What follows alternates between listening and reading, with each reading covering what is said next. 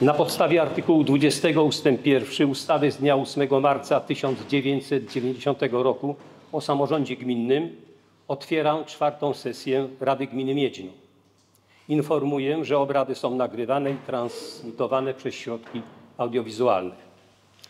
Na dzisiejszej sesji witam Państwa radnych, wójt gminy Miedźno panią Ewelinę Stobiecką, sekretarz gminy panią Annę Kuras, skarbnik gminy panią Grażynę Borycką, pracowników Urzędu Gminy i obsługę Biura Rady Gminy, sołtysów sołectw gminy Miedźno, wiceprezesa UKS Tytan Ostrowy pana Michała Leśnikowskiego i zawodniczki tego klubu.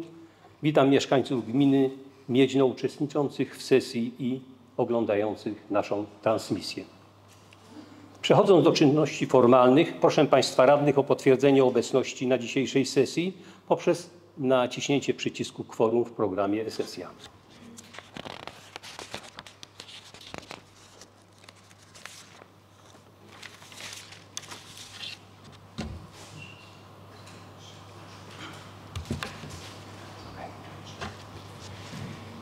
Na dzisiejszej sesji na 15 radnych, którzy uzyskali mandat radnego, obecnych jest 13 radnych. Stwierdzam zatem, że nasze obrady są prawomocne. Przechodzimy do punktu drugiego dzisiejszej sesji przyjęcie proponowanego porządku obrad.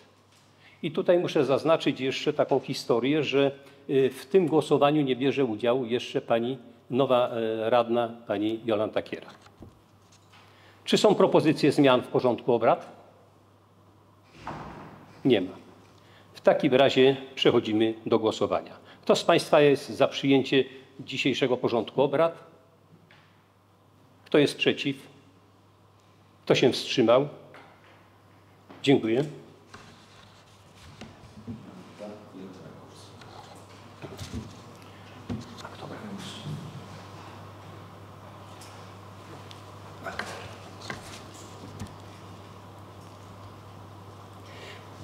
Na 13 radnych obecnych na dzisiejszej sesji, jedna radna y, nie mająca jeszcze możliwości głosowania, 12 radnych przyjęło porządek obrad dzisiejszej sesji.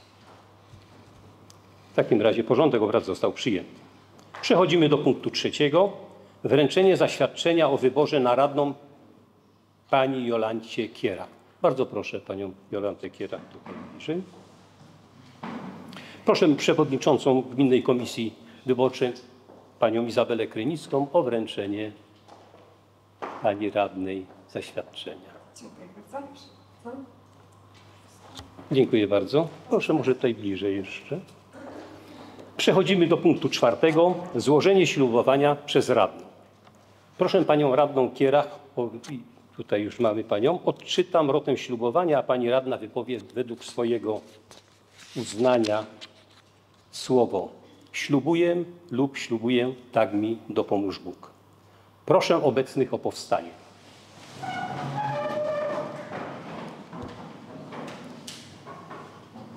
Odczytuję rodem. Wierny Konstytucji i prawu Rzeczpospolitej Polskiej ślubuję uroczyście obowiązki radnej sprawować godnie, rzetelnie i uczciwie, mając na względzie dobro mojej gminy i jej mieszkańców. Ślubuję, tak mi dopomóż. Dziękuję bardzo, gratuluję i stwierdzam, że pani Jolanta Kierach objęła mandat radnej Rady Gminy Miedźno. Życzę sukcesów w działalności samorządowej. Dziękuję serdecznie i już teraz będzie pani mogła głosować.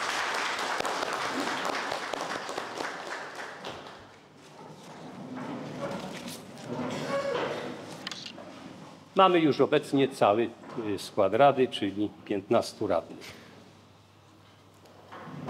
Przechodzimy do punktu piątego dzisiejszego porządku obrad. Podziękowanie dla zawodniczek uczniowskiego klubu sportowego Tytan Ostrowy. Proszę panią wójt o zabranie głosu.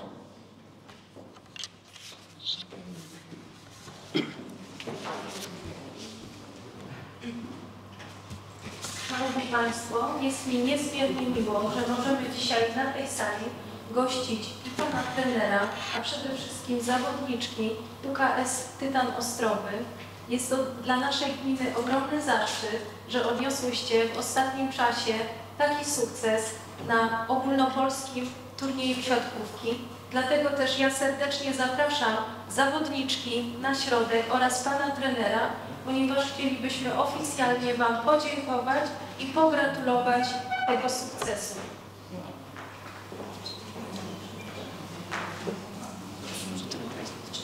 Proszę taki środek. Proszę bliżej tutaj. Jeszcze raz serdecznie gratulujemy tego sukcesu i stało się i to na pewno wpisze się w historię naszej gminy, waszego klubu.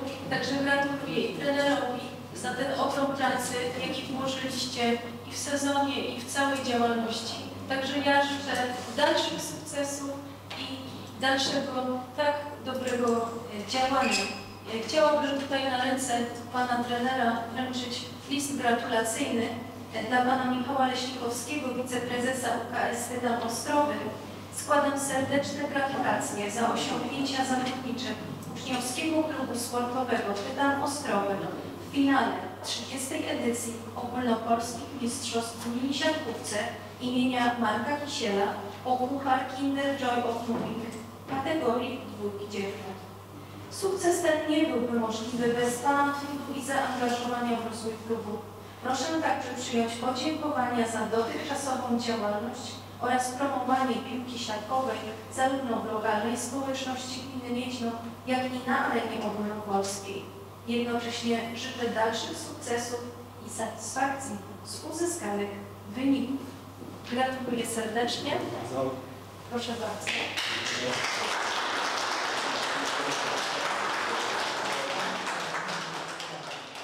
Chciałabym również podziękować i pogratulować zawodniczkom, które otrzymają pamiątkową statuetkę oraz nagrodę. Y, Będzie to voucher do galerii, do galerii jurajskiej y, na wysokość 500 zł dla każdej z Was. Także to jest taka nagroda, żebyście mogły ją wykorzystać jak będziecie chcieli. Także serdecznie gratuluję.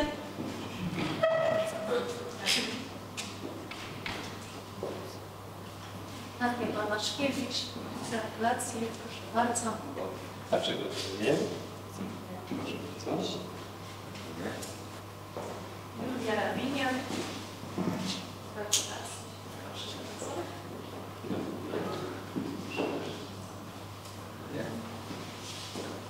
I Amelia Sznowek. Proszę bardzo. Gratulacje. Także nic nie wiem.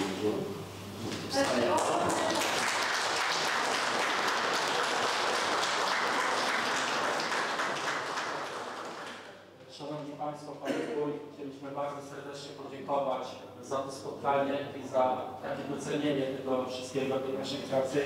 12, te, 12 lat temu, jak zakładaliśmy klub, no nikt raczej nie spodziewał się aż takich sukcesów poza mną, gdzie e, głównym tym celem jest Mistrzostwo Polski. I mam nadzieję, że kiedyś będziemy mogli się spotkać tutaj w takich okolicznościach, że przywieziemy naprawdę wielki, wielki puchar za Mistrzostwo Polski.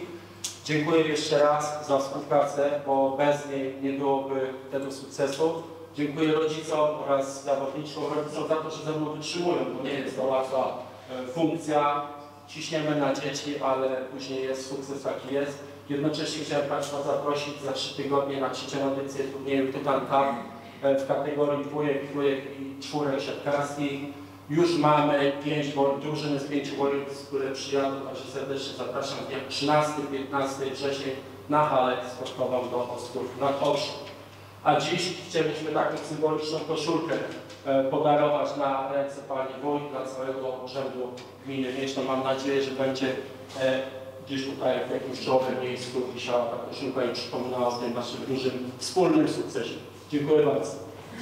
Jeszcze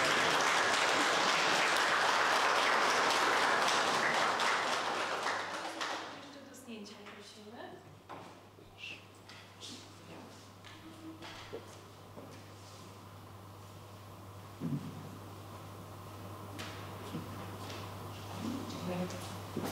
Dziękujemy bardzo. bardzo. Dziękuję.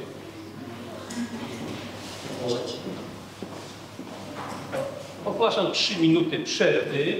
Przerwa była typowo techniczna, w związku z tym wznawiamy obrady dzisiejszej naszej sesji. Przechodzimy do punktu szóstego. Podjęcie uchwały zmieniającej uchwałę w sprawie powołania Komisji Budżetu Oświaty i Spraw Społecznych.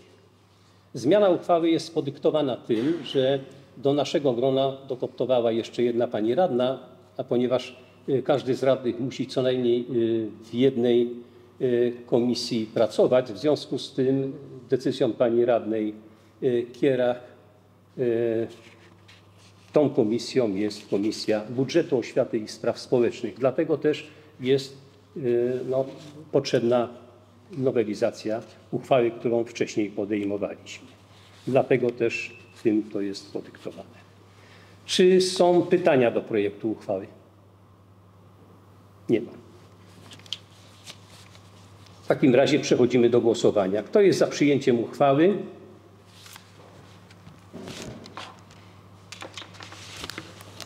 Kto jest przeciw? Kto się wstrzymał? Za jest 13. Na obecnych w tej chwili na sali 13 radnych trzy razy dwóch głosowało za. Stwierdzam zatem, że uchwała została przyjęta i otrzymuje numer numer.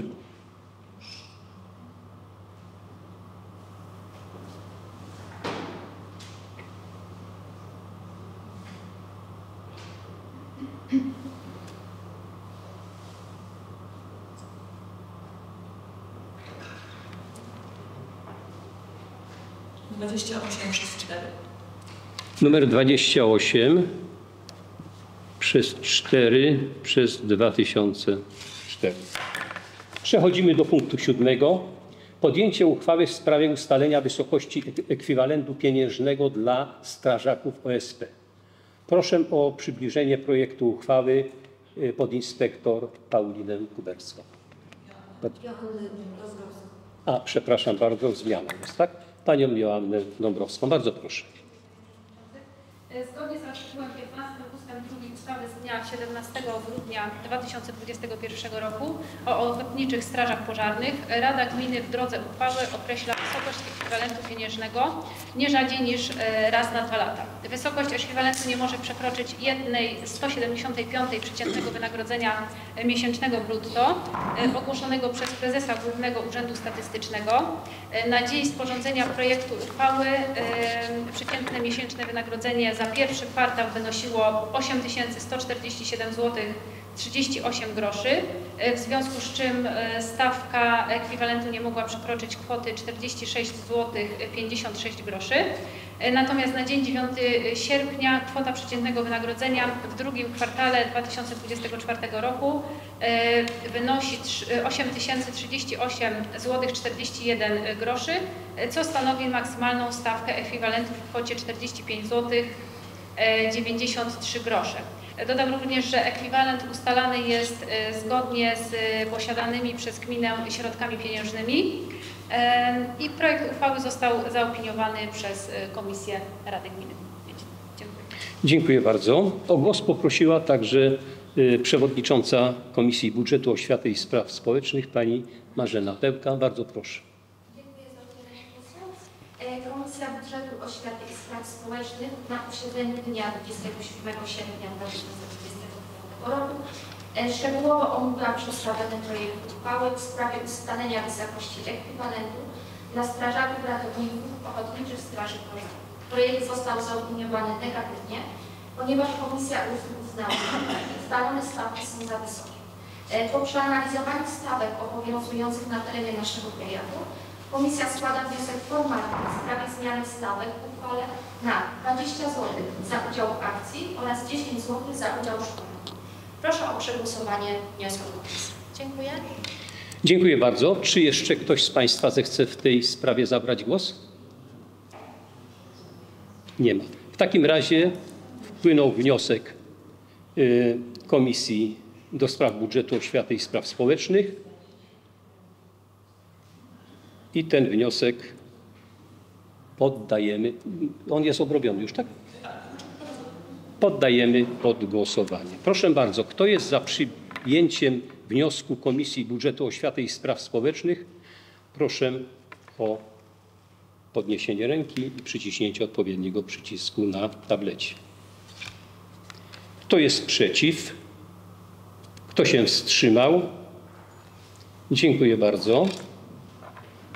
Na 13 radnych za jest 12, ws- przy- wstrzymała się jedna osoba. Zatem y, wniosek Komisji y, Budżetu Oświaty i Spraw Społecznych uzyskał akceptację Rady. W związku z tym po uwzględnieniu tego wniosku przechodzimy do głosowania projektu uchwały w sprawie ustalenia wysokości ekwiwalentu pieniężnego dla strażaków OSP. Kto jest za przyjęciem tej uchwały? Proszę o naciśnięcie odpowiedniego przycisku i podniesienie ręki. Kto jest przeciw? Kto się wstrzymał? Pan Robert Miara. Ale jest pan? Za. Stwierdzam, że w głosowaniu wzięło udział 13 radnych, za głosowało 13 radnych. Zatem uchwała została przyjęta i otrzymuje ona numer 29 przez 4 przez 2004. 24, przepraszam. Przechodzimy do punktu ósmego. Podjęcie uchwały w sprawie ustanowienia służebności. Proszę o zabranie głosu. Proszę? Pan Krzysztof Zyś będzie chyba tutaj nam referował tą uchwałę, projekt uchwały.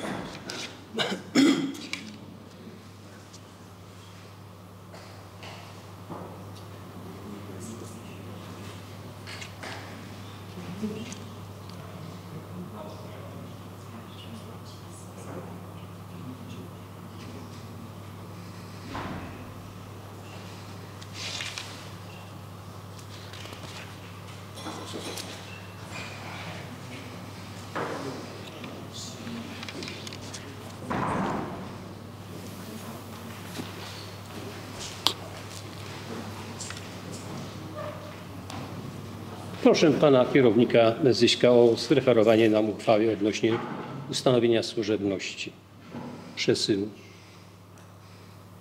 Uchwała Rady Gminy Miedźno w sprawie ustanowienia służebności przesyłu na podstawie artykułu 18 ust. 2 punktu 9 litery A ustawy z dnia 8 marca 1990 roku o samorządzie gminnym, Dziennik Ustaw y, 2024 roku późniejszymi zmianami y, nr 609 oraz artykułem 13 ust. 1 ustawy z dnia 21 sierpnia 1997 roku o gospodarce nieruchomościami Tekst jednolity Dziennik Ustaw z 2024 roku kodeks 1145 oraz artykuł 305 ustawy z dnia 23 kwietnia 1964 roku Kodeks Cywilny, tekst jednolity Dziennik Ustaw z 2024 roku pozycja 1061 Rada Gminy Miedno uchwala następuje. Wyraża się zgodę na odpłatne ustanowienie dla nieruchomości stanowiącej własność gminy Miedno, oznaczonej w ewidencji gruntów jako działka nr 928 obręb 0001 choroba, objęte księgą wieczystą nr PZ2C łamane przez 000 19 873 łamane przez 5 prowadzoną przez Sąd Rejonowy w Częstochowie służebności przesyłu na rzecz spółki Tauron Dystrybucja S.A. z siedzibą w Krakowie, y, ulica Podgórna 25A oraz jej następców prawnych. Punkt 2. Szczegółowe warunki służebności przesyłu zostaną określone w oświadczeniu w formie aktu notarialnego o ustanowieniu służebności przesyłu, którego integralną częścią będzie stanowiła mapa określająca zakres służebności przesyłu. Punkt 3. Przebieg służebności, o której mowa w ustępie pierwszym, określa załącznik graficzny do uchwały. Paragraf 2. Wykonanie uchwały powierza się wójtowi. Paragraf 3. Uchwała wchodzi w życie dniem podpisania. Dziękuję bardzo. Czy ktoś z Państwa radnych zechce jeszcze zabrać głos na temat projektu tej uchwały? Nie ma. W takim razie przechodzimy do głosowania. Kto z Państwa jest za przyjęciem uchwały? Kto jest przeciw? Kto się wstrzymał? Na obecnych 13 radnych zagłosowało 13 radnych. W związku z tym uchwała została podjęta i otrzymuje ona numer 30 przez 4 przez 2000, y, przepraszam, 24.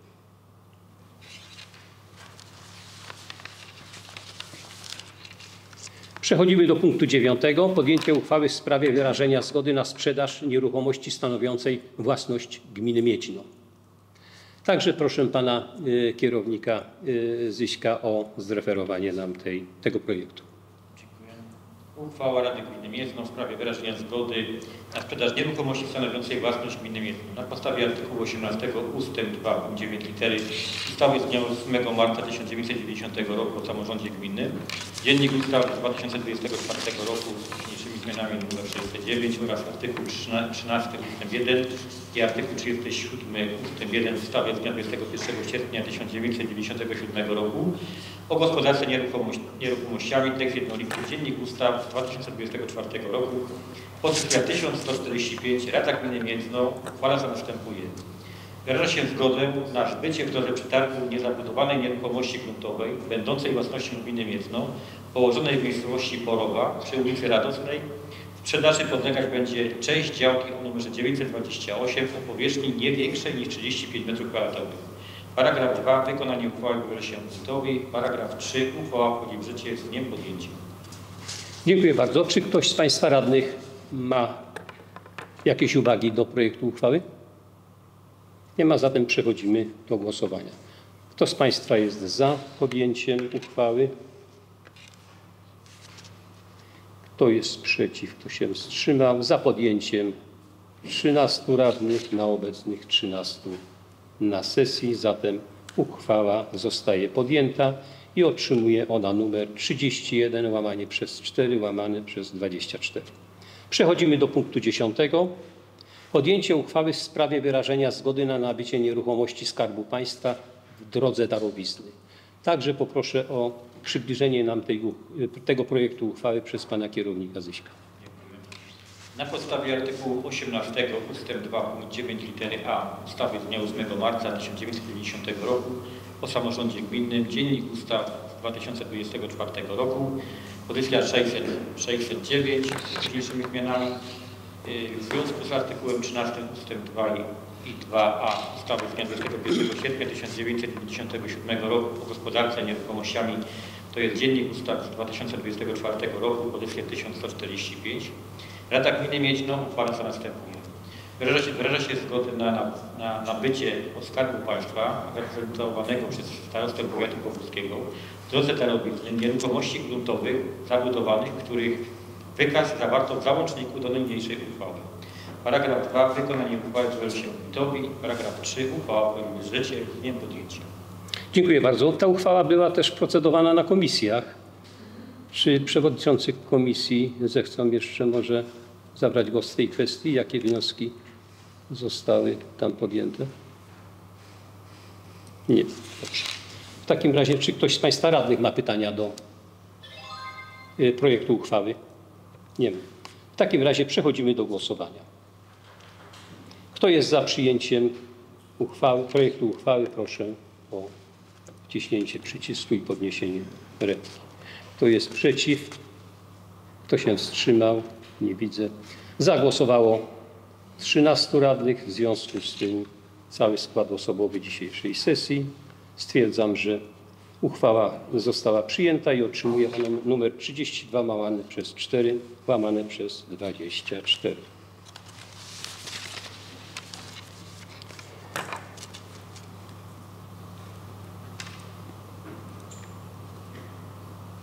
Przechodzimy do punktu 11.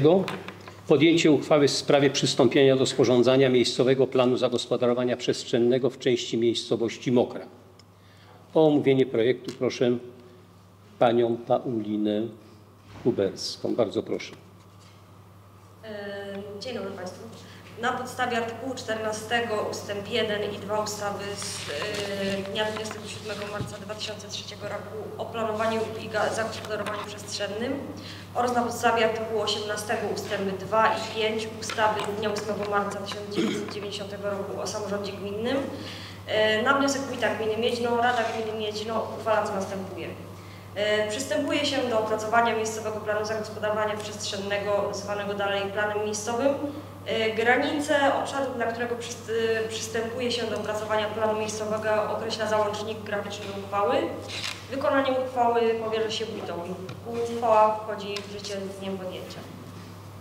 Dziękuję bardzo. Czy ktoś z Państwa radnych ma jakieś uwagi do uchwały? Nie ma. W takim razie przechodzimy do głosowania. Kto z Państwa jest za przyjęciem projektu uchwały? Kto jest przeciwny? Oj, przepraszam, ktoś chyba chciał zabrać głos, tak? Tak, dopiero się. Teraz się wyświetliło. Cofniemy w takim razie to głosowanie, dlatego że no, z opóźnieniem nam tutaj przyszły y, te y, informacje. Także bardzo proszę. Jesteście Państwo za tym, żeby cofnąć to, y, początek głosowania? Kto jest za tym, żeby cofnąć? Proszę o podniesienie ręki. Dziękuję. Y, Głos chciał zabrać y, radny pan Ireneusz Kluba. Bardzo proszę. Chciałem zapytać, jak będzie y, status tego, tej zmiany, czy to będzie było budownictwo przemysłowe, bo tam jest zakład y, spożywczy, czy to budownictwo y, indywidualne, mieszkaniowe, bo nie mamy nic w uchwale, y, na co to zostanie przekształcone. Jeżeli zostanie y, to przekształcone na przykład na przemysłowe, to wiadomo, że te osoby, które y, zajmują te działki, będą płacić podatku rolnego, tylko zupełnie inny podatek. Przepraszam, dziękuję. Znaczy, jeżeli e, będzie taka tylko możliwość, to zostanie to przekształcone zgodnie z projektem studium. E, to tak na dobrą sprawę te tereny, e, które są tutaj e, w tej uchwale mm, zamieszczone, to są tereny, które, mm, na których jest firma, e, na które zostało wydane pozwolenie na budowę przed, e, przed wprowadzeniem tego planu ogólnego, planu miejscowego, przepraszam. To tak naprawdę jest wyprostowanie tego, tej sytuacji. Także tam raczej zmian, jeżeli chodzi o tereny budowlane, nie będzie. Jeżeli firma y, otrzymała to już by musiała być zmiana wykonana y, klasyfikacji tego gruntu, pod którym jest zakład. A teraz są wyłączone pozostałe inne działy, które mam nadzieję, że ktoś wykupił pozostałe i chce rozbudowywać. Y, Nie wiem, czy Pan przeglądał sobie studium tam e, w tym fragmencie. Jest e, część terenów usługowych i, i ten teren został zaznaczony właśnie e, do zmiany. Tutaj, tak. Dziękuję. O to mi chodziło, bo nie jest podane y, w uchwale, właśnie to będzie przeznaczone. Dziękuję. Czy satysfakcjonuje pana radnego wypowiedź? Dziękuję bardzo. Bardzo proszę, jeszcze pan sołtys Mokrej. Znaczy, w kwestii tego, jak to tutaj część jest zaznaczona też u mieszkań, tak? Tak. Gdzie mieszkają w tej chwili, nie wiem, będzie przekształcone jako też, e, nie, Tam nie zostanie przekształcone na usługowe. To będzie zgodne z, e, z tym, co zostało e, wprowadzone w studium, jeżeli się uda tę zmianę wprowadzić. Znaczy tak, jeszcze chciałem dodać, że e, ta uchwała to jest myślę takie światełko tunelu, jeśli chodzi o e, wszelkie e, zmiany wychodzące naprzeciw inwestorom. Tutaj no, niestety jest niezmiernie e, mało. E, Do tej pory ten plan zagospodarowania przestrzennego e, blokował rozwój przedsiębiorczości w naszej, w naszej gminie. Tutaj akurat no, znam ten przypadek. Ten inwestor w chwili obecnej wynajmuje poza naszą gminą różne magazyny i tak dalej. I ma w przyszłości w planach rozbudowę tego zakładu, także myślę, że to jest e, z korzyścią dla gminy e, na pewno. E, No jeśli chodzi o e, rozwój e, gminy pod kątem takiej przedsiębiorczości i tak dalej, no to tego typu działania moim zdaniem powinny być na całej, w całej gminie gdzieś tam e, przekształcane, E, no żeby, te, żeby to mm, nie było takiej sytuacji, że e, z zewnątrz jak się na to patrzy, to że gmina jest jedynym inwestorem e, w, w gminie, tak? Myślę, że to będzie z korzyścią dla wszystkich. Dziękuję. Dziękuję bardzo. Czy jeszcze ktoś z Państwa zechce w tej kwestii zabrać głos? Nie ma. W takim razie przechodzimy do głosowania. Kto z Państwa jest za przyjęciem y, omawianej uchwały? Kto jest przeciw? Kto się wstrzymał? Na 13 obecnych 12 jest za, jedna osoba się wstrzymała, zatem uchwała została podjęta. I otrzymuje ona numer 33 łamane przez 4 łamane przez 24. Przechodzimy do punktu 12. Podjęcie uchwały w sprawie przystąpienia do sporządzania miejscowego planu zagospodarowania przestrzennego w części miejscowości Ostrowy nad Okrzą. O omówienie projektu uchwały proszę y, inspektor panią y, Paulinę Kuberską. Na podstawie artykułu 14 ust. 1 i 2 ustawy z 27 marca 2003 roku o planowaniu i zagospodarowaniu przestrzennym e, oraz na podstawie artykułu 18 ust. 2 punkt 5 ustawy z dnia 8 marca 1990 roku o samorządzie gminnym na wniosek wójta gminy Miedźno Rada Gminy Miedźno uchwala co następuje. Przystępuje się do opracowania miejscowego planu zagospodarowania przestrzennego, zwanego dalej planem miejscowym. Granice obszaru, dla którego przystępuje się do opracowania planu miejscowego, określa załącznik graficzny do uchwały. Wykonanie uchwały powierza się wójtowi. Uchwała wchodzi w życie z dniem podjęcia. Dziękuję bardzo. Czy ktoś z Państwa radnych ma jakieś uwagi do projektu uchwały? Ta uchwała była omawiana także na komisjach. A tak, Pani Radna y, Kierak, bardzo proszę. Chciałam zapytać, czy te y, działki należą do jednej osoby, czy to jest y, dla kilku osób, bo niestety tego nie doczytałam, nie dopatrzyłam. Mamy gdzieś taką informację, działki zaznaczone na tym planie. Nie, nie to, to jest po prostu obszar zaznaczony. Obszar. Tak, to jest, są działki. Czyli to różne Tak, tak. Dziękuję. No właśnie. Dziękuję bardzo. Bardzo proszę o y, głos, y, wciskać odpowiedni przycisk. Na- Prosząc o głos, wciskać odpowiedni przycisk na tablecie.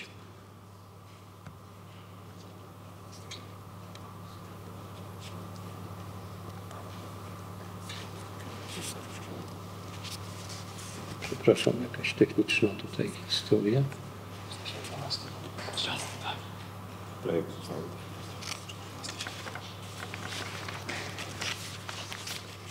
Przechodzimy do głosowania. Kto z Państwa jest za podjęciem y, uchwały? Proszę o wciśnięcie przycisku i podniesienie ręki. Kto jest przeciwny? Kto się wstrzymał?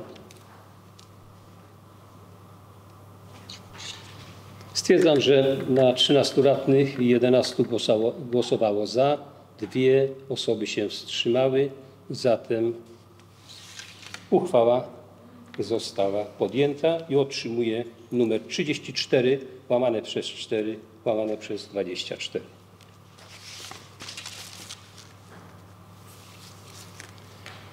Przechodzimy do punktu 13. Podjęcie uchwały w sprawie rozpatrzenia skargi na działalność dyrektora zespołu szkolno-przedszkolnego w Miedzi.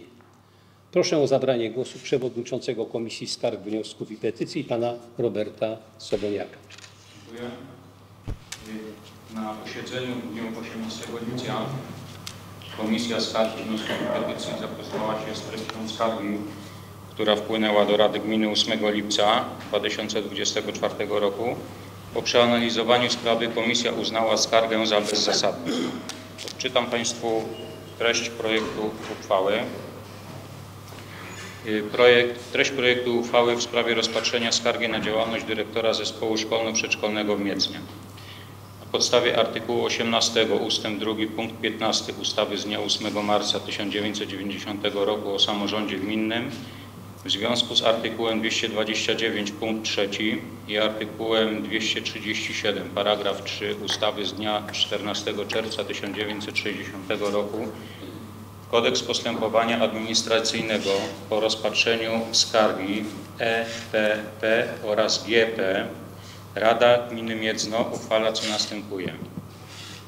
Paragraf pierwszy. Uznaje się skargę EPP oraz GP na działalność dyrektora zespołu szkolno-przedszkolnego w Miedznie za bezzasadną. Paragraf drugi. Wykonanie uchwały powierza się przewodniczącemu Rady Gminy, który zawiadomi skarżących o sposobie załatwienia skargi. Paragraf trzeci. Uchwała wchodzi w życie z dniem podjęcia. Przeczytam Państwu uzasadnienie. Pismem z dnia 8 lipca 2024 roku pani EPP oraz pan GP wnieśli skargę na czynność dyrektora Zespołu Szkolno-Przedszkolnego w Miedznie, dalej szkoły, polegającą na naruszeniu danych osobowych córki skarżących małoletniej AP poprzez bezprawne zamieszczenie na Facebooku imienia, nazwiska i wyników egzaminów oraz zdjęcia umożliwiającego identy- identyfikację małoletniej.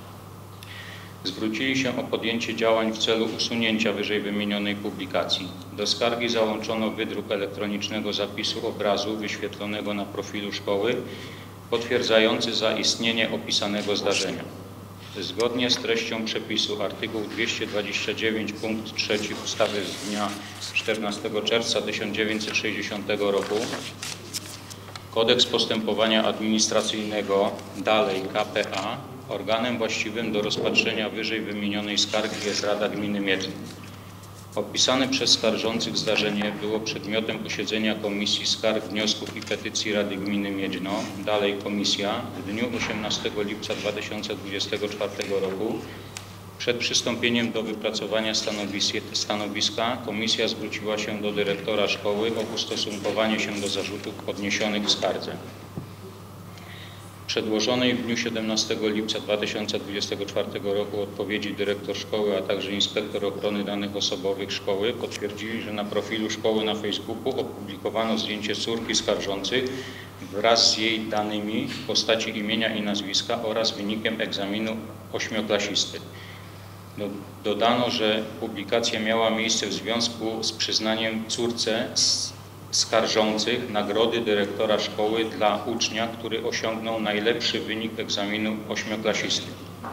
Z przedłożonej przez dyrektora oraz inspektora ochrony danych szkoły odpowiedzi wynika zarazem, że szkoła była uprawniona do publikacji wizerunku córki skarżących w oparciu o zgodę wyrażoną przez skarżących jako przedstawicieli ustawowych małoletniej w dniu, w dniu 11 września 2017 roku, której, której kopię przedłożono komisji wraz z odpowiedzią na zarzuty skargi. Wskazano ponadto, że zdarzenie, zdarzenie objęte niniejszą skargą na skutek zawiadomienia skarżących było niezależnie przedmiotem sprzeciwu co do przetwarzania danych skierowanych do inspektora ochrony danych osobowych zespołu szkolno-przedszkolnego w Miedznie, którego skutkiem było przejęcie przez skutkiem było przyjęcie przez szkołę, że pismo zabiera, zawiera w swej treści wycofanie zgody na dalsze przetwarzanie wizerunku córki skarżących, a przedmiotowa publikacja w dniu 10 lipca 2024 roku niezwłocznie po wpłynięciu sprzeciwu została usunięta z profilu szkoły na Facebooku. Po zapoznaniu się ze skargą oraz odpowiedzią na zarzuty skargi sporządzoną przez dyrektora szkoły oraz inspektora ochrony danych osobowych z szkoły z dnia 17 lipca 2024 roku komisja uznała skargę za bezzasadną. Z przedłożonej przez dyrektora szkoły dokumentacji w ramach postępowania wyjaśniającego w przedmiocie, niniejszej skargi wynika, że szkoła w dacie publikacji dysponowała zgodą na publikację wizerunku córki skarżących w mediach społecznościowych w szkoły, w tym, w tym Facebooku, wyrażoną przez skarżących osobiście. Pozostawała tym samym w uprawnionym przekonaniu, że publikacja nie narusza praw małoletniej córki skarżących. Publikacja nie nosiła charakteru ośmieszającego, a miała miejsce w związku z wyróżnieniem córki skarżących za osiągnięcia w nauce. Toku postępowania wyjaśniającego ustalono ponadto, że skutkiem niezależnego złożonego przez skarżących sprzeciwu do inspektora ochrony danych osobowych co do przetwarzania danych córki było niezwłoczne usunięcie przedmiotowej publikacji z profilu szkoły na Facebooku. Tym samym żądaniu skarżących ujętym w skardze szkoła uczyniła zadość bez konieczności ingerencji od organu nadzoru. W kontekście powyższego na marginesie wskazać należy, że Komisja ani Rada Gminy nie posiadają kompetencji do rozstrzygania sporów związanych z naruszeniem przez dyrektora szkoły przepisów o ochronie danych osobowych, które powinny być przedmiotem oceny prezesa Urzędu Ochrony Danych Osobowych czy też właściwego urzędu. Mając powyższe na uwadze, skargę uznano za bezzasadną. Pouczenie. Zgodnie z artykułem 239 KPA w przypadku, gdy skarga w wyniku jej rozpatrzenia została uznana za bezzasadną i jej bezzasadność wykazano w odpowiedzi na skargę, a skarżący ponowił skargę bez wskazania nowych okoliczności, organ właściwy do jej rozpatrzenia może podtrzymać swoje poprzednie stanowisko z odpowiednią adnotacją w aktach sprawy bez zawiadamiania skarżącego. Proszę o podjęcie uchwały. Dziękuję panu przewodniczącego, przewodniczącemu. Czy ktoś z państwa radnych w tej kwestii chce jeszcze zabrać głos? Nie ma. W takim razie przechodzimy do głosowania. Kto z państwa jest za podjęciem uchwały? Kto jest przeciwny? Kto się wstrzymał? Na 13 radnych 13 głosowało za podjęciem uchwały, w związku z tym uchwała zostaje podjęta i otrzymuje numer 35 łamane przez 4 łamane przez 24. Przechodzimy do punktu 14 dzisiejszej sesji. Podjęcie uchwały w sprawie rozpatrzenia skargi następnej na działalność dyrektora Zespołu Szkolno-Przedszkolnego w Miedzi. Proszę o zabranie głosu przewodniczącego Komisji Skarg, Wniosków i Petycji. Dziękuję bardzo. Na posiedzeniu w dniu 18 lipca 2024 roku Komisja Skarg, Wniosków i Petycji zapoznała się z treścią skargi, która wpłynęła do Rady Gminy 1 lipca 2024 roku. Po przeanalizowaniu sprawy Komisja uznała skargę za bezzasadną. Odczytam Państwu treść projektu uchwały w sprawie rozpatrzenia skargi na działalność dyrektora Zespołu Szkolno-Przedszkolnego w Miedznie. Na podstawie artykułu 18 ust. 2 punkt 15 ustawy z dnia 8 marca 1990 roku o samorządzie gminnym w związku z artykułem 229 punkt 3 i artykułem 237 paragraf 3 ustawy z dnia 14 czerwca 1960 roku Kodeks Postępowania Administracyjnego po rozpatrzeniu skargi BZ Rada Gminy Miedźno uchwala co następuje. Paragraf pierwszy. Uznaje się skargę BZ na działalność dyrektora Zespołu Szkolno-Przedszkolnego w Miedźnie za bezzasadną. Paragraf drugi. Wykonanie uchwały powierza się przewodniczącemu Rady Gminy, który zawiadomi skarżącego o sposobie załatwienia skargi. Paragraf trzeci. Uchwała wchodzi w życie z dniem podjęcia. Przeczytam Państwu uzasadnienie. Pismem z dnia 22 sierpnia 2023 roku pani BZ, dalej skarżąca, wniosła do Rady Gminy Miedźno skargę na działanie dyrektora Zespołu Szkolno-Przedszkolnego w Miedźnie, dalej szkoły, polegającą na dyskryminującym i nierównym, yy, polegającą na dyskryminującym i nierównym traktowaniem jej osoby na stanowisku nauczyciela wychowania fizycznego, w tym poprzez brak prawidłowej reakcji na zgłaszane działania noszące cechy mobbingu ze strony współpracowników, szczegółowo opisane w treści skargi. Z treści skargi wynika, że skarżąca przebywająca, przebywająca w chwili zgłaszania skargi na urlopie dla podratowania zdrowia od 10 marca 2023 do 10 marca 2024 została poinformowana przez dyrektora, że po powrocie z wyżej wymienionego urlopu i stwierdzonej przez lekarza zdolności do pracy przewiduje się dla niej wyłącznie 4 godziny wychowania fizycznego, 1 godzinę wychowawstwa i uzupełnienie etatu godzinami nauczyciela wychowawcy świetlicy szkolnej. W ocenie skarżącej taki przydział godzin nosi znamiona dyskryminacji jej osoby i nierównego traktowania względem pozostałych dwóch nauczycieli wychowania fizycznego, którym planuje się pozostawienie pełnego wymiaru godzin wychowania fizycznego. Ponadto zdaniem skarżącej z uwagi na swój staż pracy oraz dotychczasową nienaganną dyscyplinę pracy nie powinna doświadczyć takiej propozycji ze strony dyrektora szkoły, mając na uwadze wynikającą z orzecznictwa Sądu Najwyższego analizę kryteriów doboru pracowników do zwolnienia. W dniu 1 lipca 2024 roku skarżąca wniosła kolejną skargę na działania dyrektora szkoły. W ramach zarzutów dyskryminacji i nierównego traktowania podniosła sporządzenie arkusza organizacyjnego szkoły na rok szkolny 2023-2024 niezgodnego z przepisami prawa, to jest poprzez brak uwzględnienia jej osoby w wykazie kadry pedagogicznej. Zdaniem skarżącej od daty przypadającej po planowanym zakończeniu urlopu dla podratowania zdrowia, to jest od 10 marca 2024, w arkuszu organizacyjnym szkoły na rok szkolny 2023-2024 powinny skarżącej zostać przydzielone godziny lekcyjne, a brak ich uwzględnienia wskazywał na zamiar dyrektora rozwiązania z nią umowy o pracę po zgłoszeniu powrotu z urlopu dla podratowania zdrowia, co ostatecznie stało się faktem. Skarżąca nie kwestionując obiektywnej przesłanki w postaci niewystarczającej ilości godzin wychowania fizycznego w klasach 5-8 dla wypełnienia etatu wszystkich zatrudnionych przez szkołę nauczycieli tego przedmiotu, podniosła, że istniały możliwości rozwiązania trudnej sytuacji poprzez sprawiedliwe rozdysponowanie godzin wychowania fizycznego po jej powrocie do pracy z urlopu dla, dla podratowania zdrowia w dniu 10 marca 2024. W ocenie skarżącej brak uwzględnienia jej osoby w arkuszu organizacyjnym szkoły, a w jego konsekwencji zapropono- zaproponowany jej po powrocie przydział godzin nosi znamiona dyskryminacji jej, oso jej osoby i nierównego traktowania względem pozostałych dwóch nauczycieli wychowania fizycznego, którym pozostawiono pełny wymiar godzin wychowania fizycznego. Skarżąca zarzuciła ponadto dyrektorowi niegospodarność poprzez wypłacanie jej osobie wynagrodzenia za czas pozostawania w stanie nieczynnym, który jest konsekwencją wypowiedzenia jej umowy o pracę i jednocześnie wynagrodzenia za nadgodziny nauczycielom, którym przydzielono prowadzenie zajęć po wypowiedzeniu jej umowy o pracę oraz poprzez opłacanie z publicznych pieniędzy wynagrodzenia radcy prawnego, który jest pełnomocnikiem dyrektora w postępowaniu przed sądem pracy z powództwa skarżącej. Treść obydwu skarg pokrywa się lub uzupełnia w zakresie zarzutów stawianych przez skarżącą dyrektorowi szkoły, dlatego też rozpoznano je łącznie.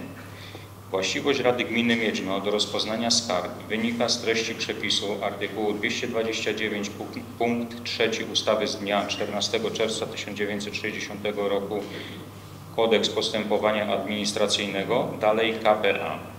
Opisane przez skarżącą zdarzenia były przedmiotem posiedzenia Komisji Skarg, Wniosków i Petycji Rady Gminy Miedźno, dalej Komisja dnia 14 września 2023 roku, 5 marca 2024 roku oraz 18 lipca 2024 roku.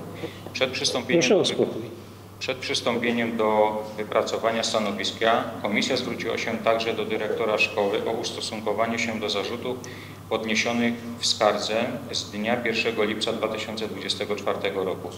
W przedłożonej w dniu 17 lipca 2024 roku odpowiedzi dyrektor szkoły odnosząc się do zarzutów związanych z arkuszem organizacyjnym szkoły na rok szkolny 2023-2024 podniosła, że arkusz organizacyjny podlega zaopiniowaniu przez związki zawodowe oraz kuratorium oświaty oraz że przedmioty oraz że podmioty te nie złożyły zastrzeżeń odnośnie godzin wychowania fizycznego na rok szkolny 2023-2024. Wskazała, że skarżąca została ujęta w załączniku nr 1 arkusza organizacyjnego wykaz kadry pedagogicznej jako nauczyciel przebywający na, na urlopie dla podratowania zdrowia. Odnosząc się do zarzutów dyskryminacji, dyrektor szkoły wskazała, że zapoznając nauczycieli z arkuszem or- organizacyjnym na rok szkolny 2023-2024 i perspektywą kolejnych lat na posiedzeniu Rady Pedagogicznej w dniu 20 kwietnia 2023 poinformowała, że wobec zmniejszenia liczby grup wychowania fizycznego przewiduje się dwa etaty nauczycieli wychowania fizyczne- fizycznego, a jednemu z trzech zatrudnionych w szkole nauczycieli celem uzupełnienia etatów przydzielone zostaną godziny wychowawcy świetlicy szkolnej.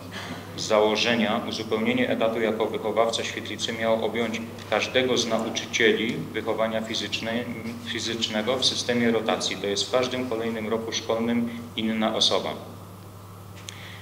Z wyjaśnień dyrektora szkoły wynika ponadto, że skarżąca w trakcie przebywania na urlopie dla podratowania zdrowia została poinformowana, że po powrocie z urlopu dla po powrocie z tegoż urlopu w dniu 10 marca 2024 roku na dalszą część roku szkolnego 2023-2024 to jej jako pierwszej zostaną przydzielone uzupełniające godziny wychowawcy świetlicy.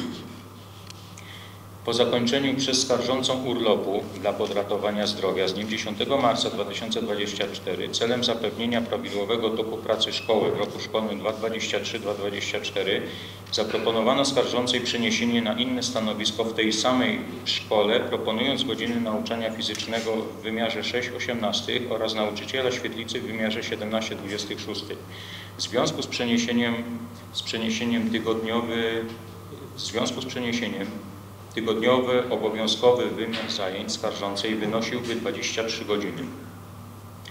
Dyrektor szkoły podniosła, że zaproponowane skarżącej przeniesienie na inne stanowisko w tej samej szkole w roku szkolnym 2023-2024 było konsekwencją, zmniejszonej liczby godzin wychowania fizycznego realizowanych w szkole. Odnosząc się do zarzutów skarżącej ukrycia przez dyrektora szkoły etatu wychowania fizycznego dla, trzecie, dla trzeciego nauczyciela.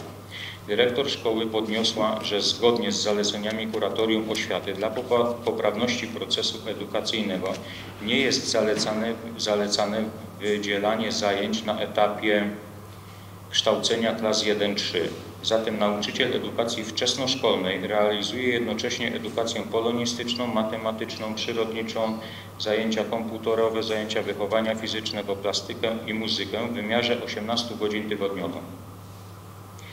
Dyrektor szkoły dodała, y, że wska wskazani w skardze nauczyciele edukacji wczesnoszkolnej posiadają nadgodziny ze względu na dodatkowe kwalifikacje zawodowe.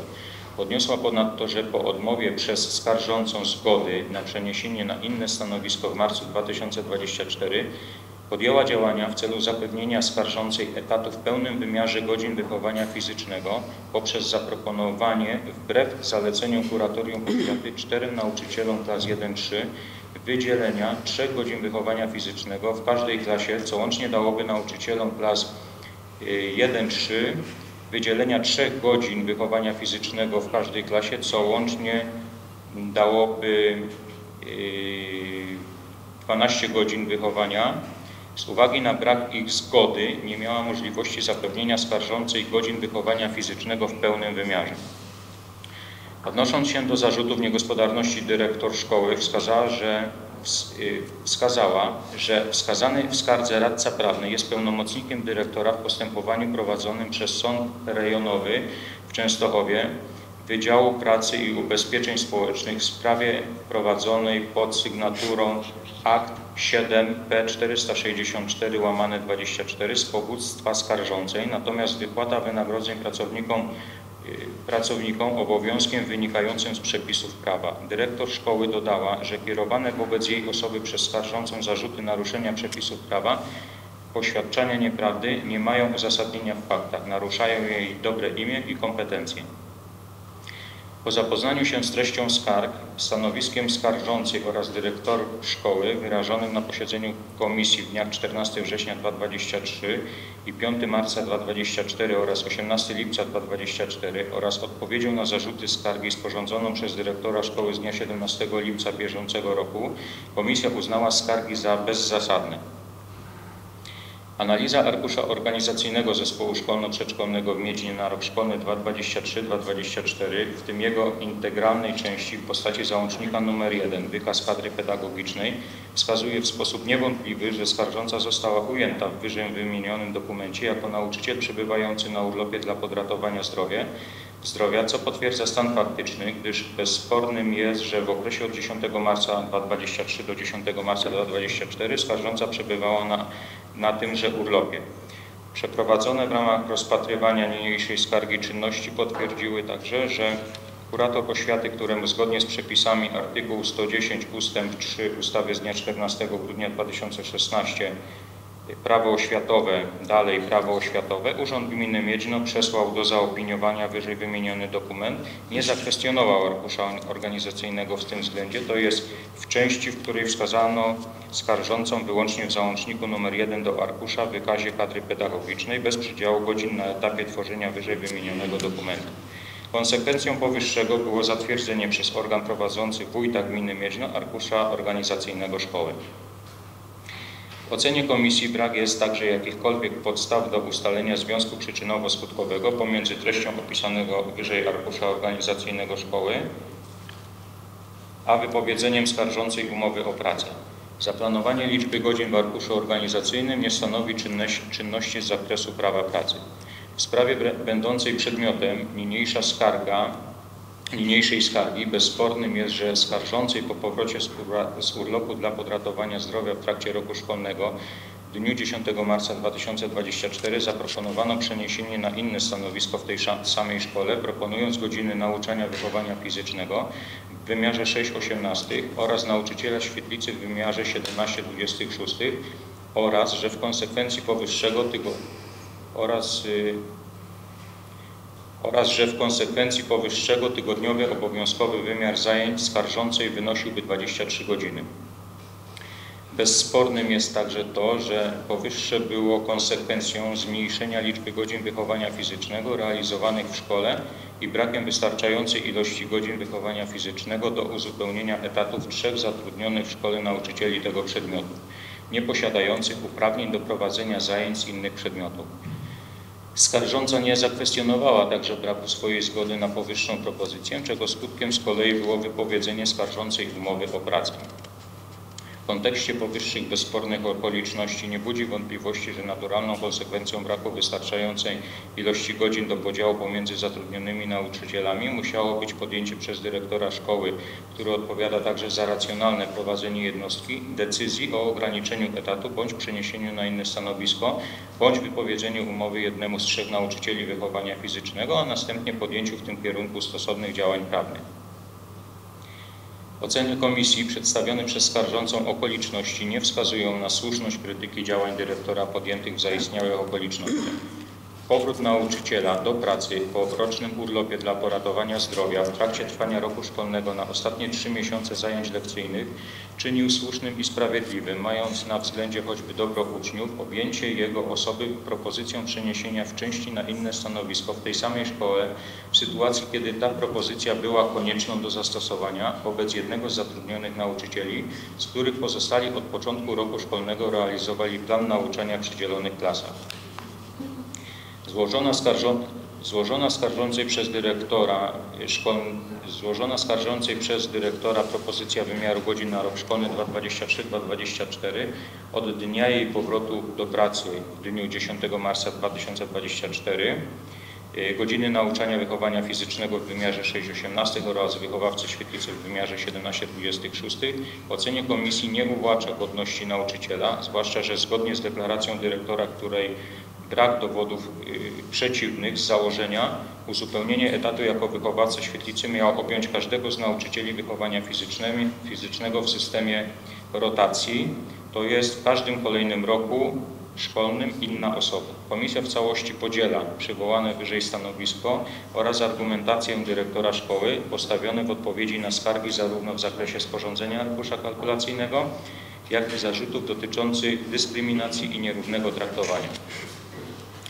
Dodatkowo wskazać należy, że w ramach nadzoru sprawowanego przez organ prowadzący ustalonego w przepisach artykuł 57 i następny prawa oświatowego nie mieści się y, udzielenie zgody na dokonanie przez dyrektora szkoły czynności z zakresu prawa pracy, w szczególności nawiązywanie czy też rozwiązywanie stosunków pracy z określonymi osobami, czy też podważanie zapadłych w tym względzie decyzji.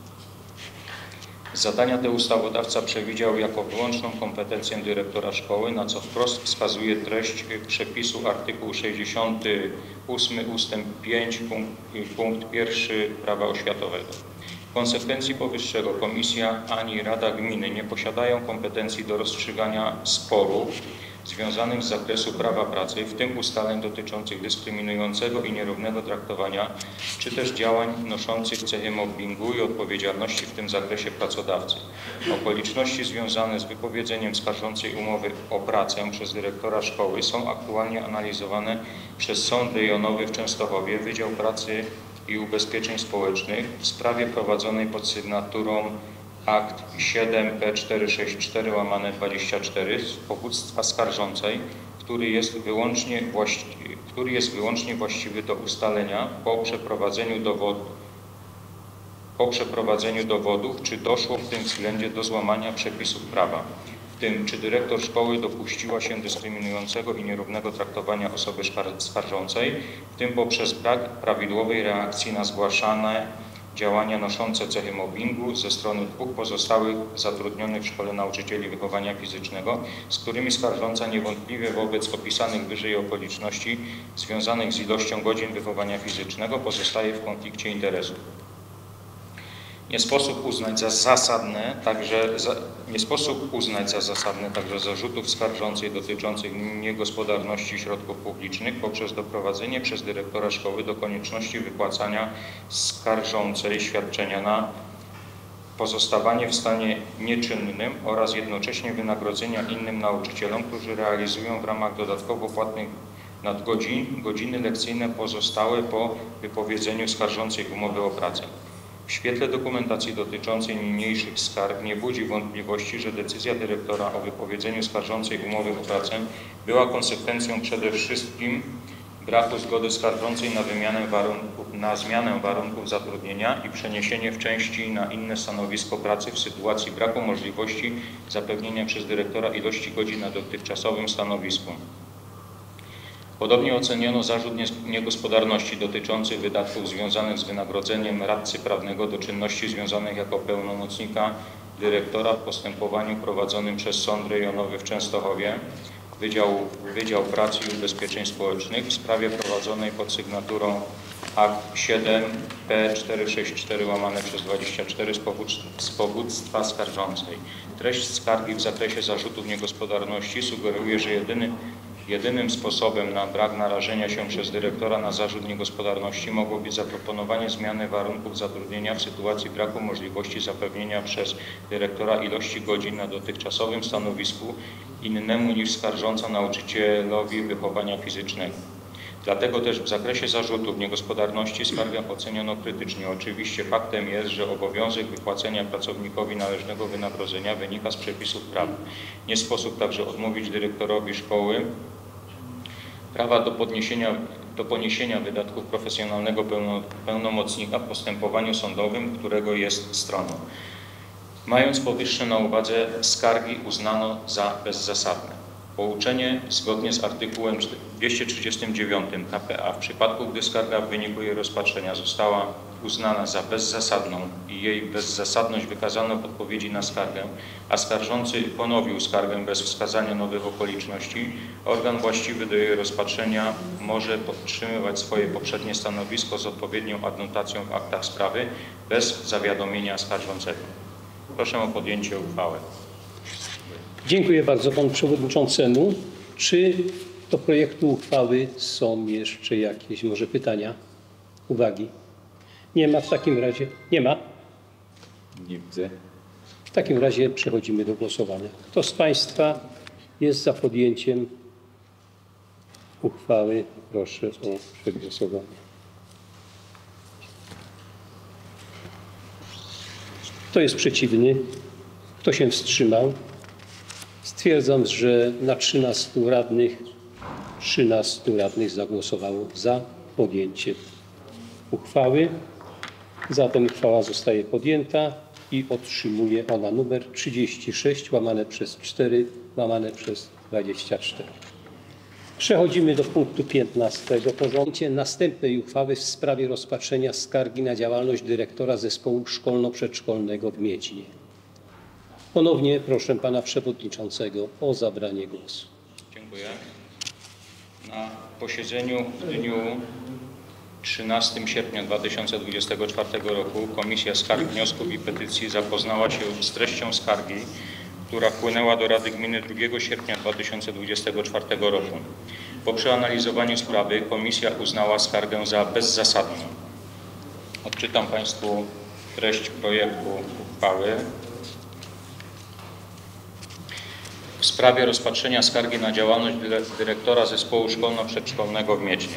Na podstawie artykułu 18 ust. 2 punkt 15 ustawy z dnia 8 marca 1990 roku o samorządzie gminnym w związku z, w związku z artykułem 229 punkt 3 i artykułem 237 paragraf 3 ustawy z dnia 14 czerwca 1960 roku Kodeks Postępowania Administracyjnego po rozpatrzeniu skargi PS przepraszam, Rada Gminy Miedzin uchwala co następuje. Paragraf pierwszy. Uznaje się skargę BS na działalność dyrektora zespołu szkolno-przedszkolnego w Miedźnie za bezzasadną. Paragraf drugi. Wykonanie uchwały powierza się przewodniczącemu Rady Gminy, który zawiadomi skarżącego o sposobie załatwienia skargi. Paragraf trzeci. Uchwała wchodzi w życie z dniem podjęcia. Przeczytam Państwu uzasadnienie. Nie będzie już takie długie. Pismem z dnia 2 sierpnia 2024 roku pani BS, dalej skarżąca, wniosła do Rady Gminy Miedźno skargę na działania dyrektora zespołu szkolno-przedszkolnego w Miedźnie, dalej szkoły, polegającą na dyskryminującym i nierównym traktowaniu jej osoby na stanowisku nauczyciela wspomagającego, współpracującego w proces kształcenia poprzez brak uwzględnienia jej osoby w wykazie kadry pedagogicznej arkusza organizacyjnego na rok szkolny 2024-2025. Z treści skargi wynika, że skarżąca od dnia 5 lutego 2024 do 5 lutego 2025 przebywa na urlopie dla poratowania zdrowia. Zdaniem skarżącej wobec faktu, że znany jest termin jej powrotu do pracy w arkuszu organizacyjnym szkoły na rok szkolny 2024-2025 powinny jej zostać przydzielone godziny lekcyjne od czasu planowanego jej powrotu. Z kolei brak ich uwzględnienia wskazuje na zamiar dyrektora rozwiązania z nią umowy o pracę lub zmiany warunków zatrudnienia po, zgłoszeniu powrotu y, z urlopu. Dodała, że zważywszy na kompetencje i doświadczenie zawodowe posiadane przez nią oraz pozostałych zatrudnionych w szkole nauczycieli wspomagających, mając na uwadze wypracowane w orzecznictwie Sądu Najwyższego kryteria doboru nauczyciela do zmiany warunków zatrudnienia, to, to nie jej osoba powinna być brana pod uwagę w tym względzie przez dyrektora. Właściwość Rady Gminy Miedźno do rozpoznania skarg wynika z treści przepisu artykułu 229 punkt 3 ustawy z dnia 14 czerwca 1960 roku Kodeks Postępowania Administracyjnego, dalej KPA. Opisane przez skarżącą zdarzenia były przedmiotem posiedzenia Komisji Skarg, Wniosków i Petycji Rady Gminy Miedźno, dalej Komisja w dniu 13 sierpnia 2024 roku przed przystąpieniem do wypracowania stanowiska komisja zwróciła się także do dyrektora szkoły o ustosunkowanie się do zarzutów podniesionych w skardze. Przedłożonej w dniu 7 sierpnia 2024 odpowiedzi dyrektor szkoły odnosząc się do zarzutów związanych z arkuszem organizacyjnym szkoły na rok szkolny 2024-2025 podniosła, że arkusz organizacyjny podlega zaopiniowaniu przez związki zawodowe oraz kuratorium oświaty oraz, że podmioty te nie złożyły zastrzeżeń w podnoszonym przez skarżącą względzie, został zatwierdzony przez organ prowadzący. Dodała, że godziny, składaj, że godziny składające się na dotychczasowy etat skarżącej przydzielone na czas jej urlopu dla poratowania zdrowia innym nauczycielom jako ich nadgodziny zostaną przydzielone skarżącej po jej powrocie z urlopu w celu zapewnienia etatu w roku szkolnym 2024-2025. Odnosząc się do zarzutów dyskryminacji, dyrektor szkoły wskazała, że z dokumentacji pracowniczej wynika, że skarżąca nie posiada kwalifikacji do pełnienia funkcji nauczyciela wspomagającego dla uczniów, którzy aktualnie pobierają, przepraszam, naukę w szkole, mając na uwadze ich indywidualne potrzeby. Została zatrudniona jako nauczyciel wspomagający dla konkretnego ucznia, który od początku ubiegłego roku szkolnego nie wymagał już nauczyciela wspomagającego. Z uwagi na, powyższą, na powyższe, za zgodą skarżącej już w poprzednim roku szkolnym 2023-2024 przydzielone jej zostały godziny wychowawcy świetlicy. Po powrocie do pracy z urlopu dla poratowania zdrowia w trakcie roku szkolnego 2024-2025 skarżącej zostaną przydzielone godziny wychowawcy świetlicy na dotychczasowych zasadach.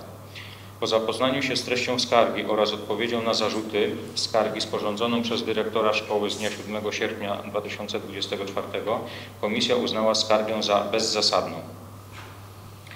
Analiza arkusza organizacyjnego Zespołu Szkolno-Przedszkolnego w Miedzinie na rok szkolny 2024-2025, w tym jego integralnej części w postaci załącznika nr 1, wykaz kadry pedagogicznej, wskazuje w sposób niewątpliwy, że skarżąca została ujęta w wyżej wymienionym dokumencie jako nauczyciel przebywający na, urlato, na urlopie dla poratowania zdrowia, co potwierdza stan faktyczny, gdyż bezspornym jest, że w okresie od 5 lutego 2024 do 5 lutego 2025 skarżąca przebywa na urlopie dla poratowania zdrowia.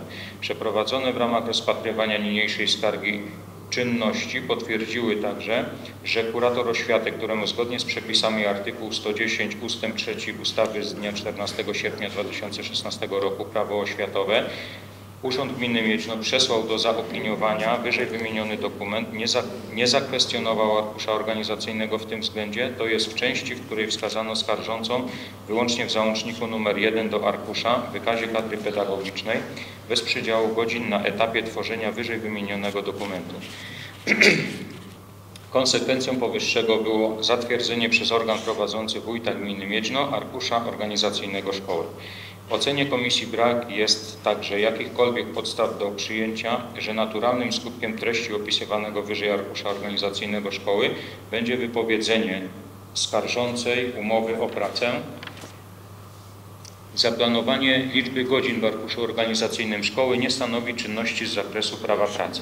Nie budzi także wątpliwości, że naturalną konsekwencją braku możliwości zapewnienia godzin nauczyciela wspomagającego dla ucznia, dla którego skarżąca została zatrudniona już w poprzednim roku szkolnym, mogło być podjęcie przez dyrektora szkoły, który odpowiada także za racjonalne prowadzenie jednostki, decyzji o wypowiedzeniu umowy bądź ograniczeniu etatu, bądź przeniesieniu skarżącej na inne stanowisko, a następnie podjęcie w tym kierunku stosownych działań prawnych.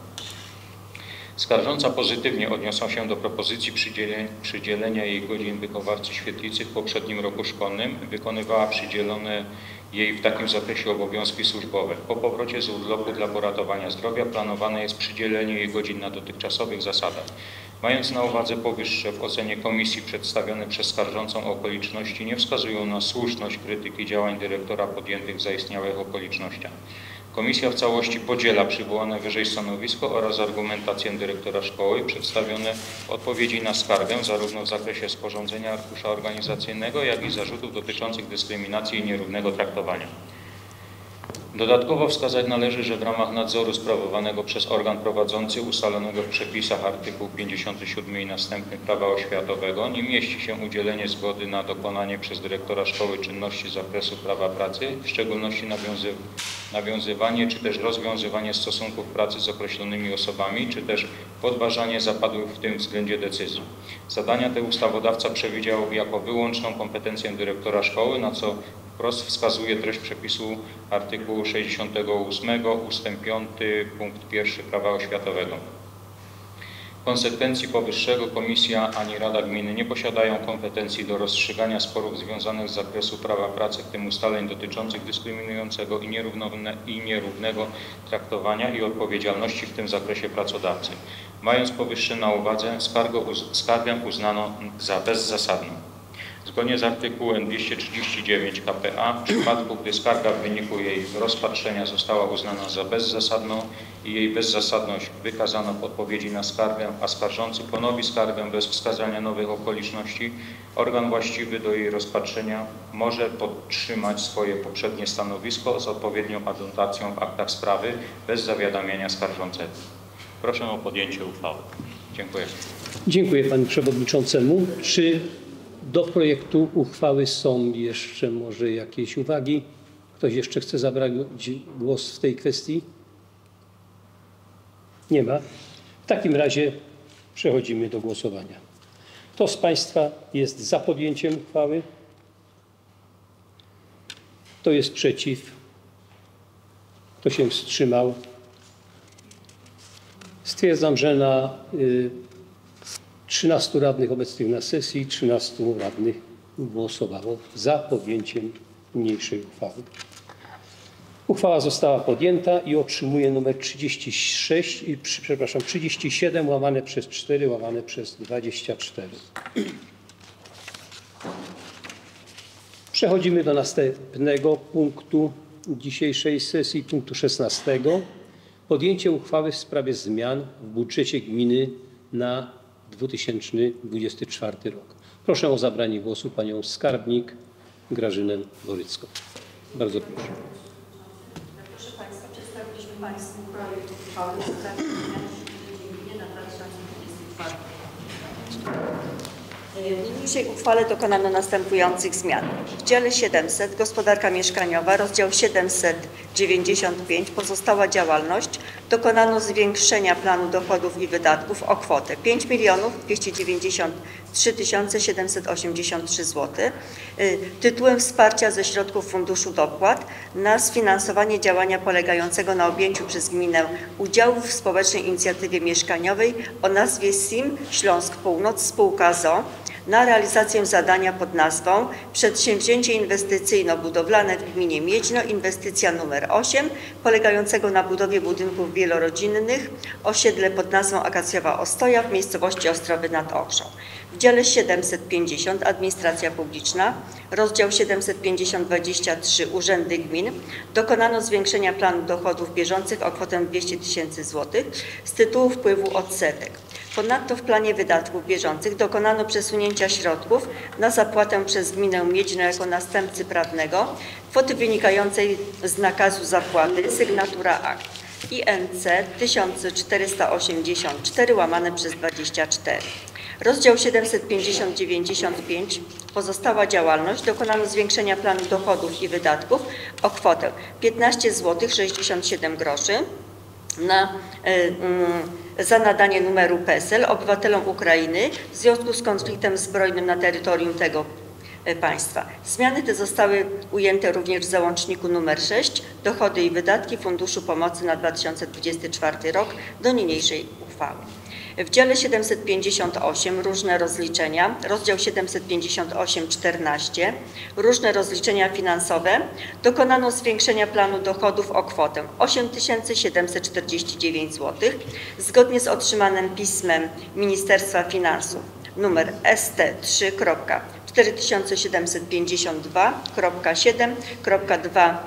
4752.7.2 024.g z dnia 19 czerwca 2024 roku oraz pismem numer ST3.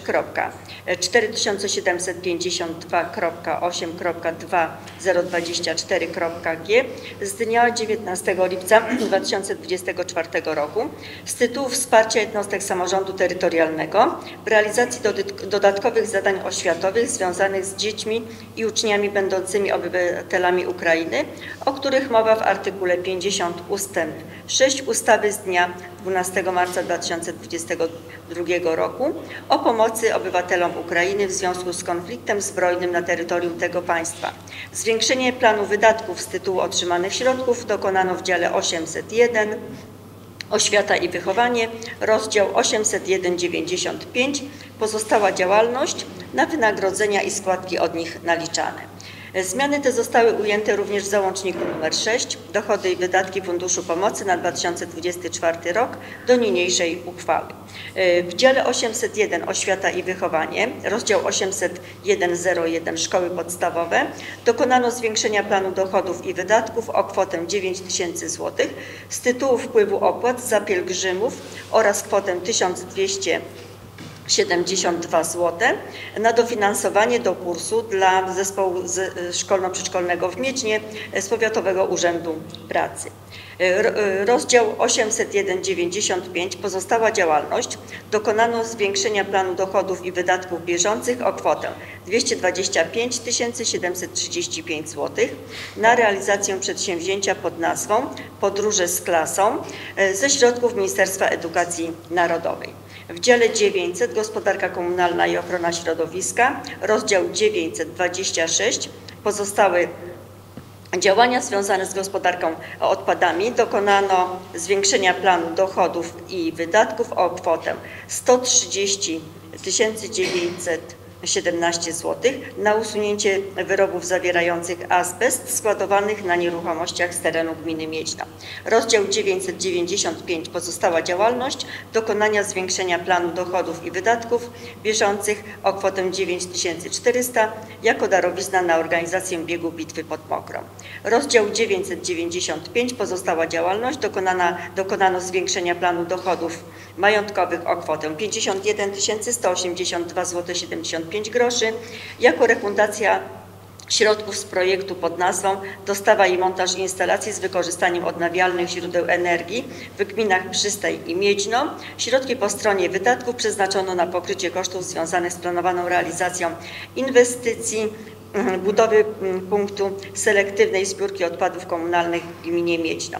Zgodnie z uchwałą nr 9 łamane przez 7 łamane przez 2024 zebrania wiejskiego sołectwa Borowa z dnia 22 lipca 2024 roku w sprawie przyjęcia wniosku sołectwa zmieniającego przedsięwzięcia do, do realizacji w 2024 roku w ramach funduszu sołeckiego sołectwa Borowa dokonano zmiany klasyfikacji wyznaczonych przedsięwzięć i zmiany te ujęto w załączniku nr 5 do niniejszej uchwały.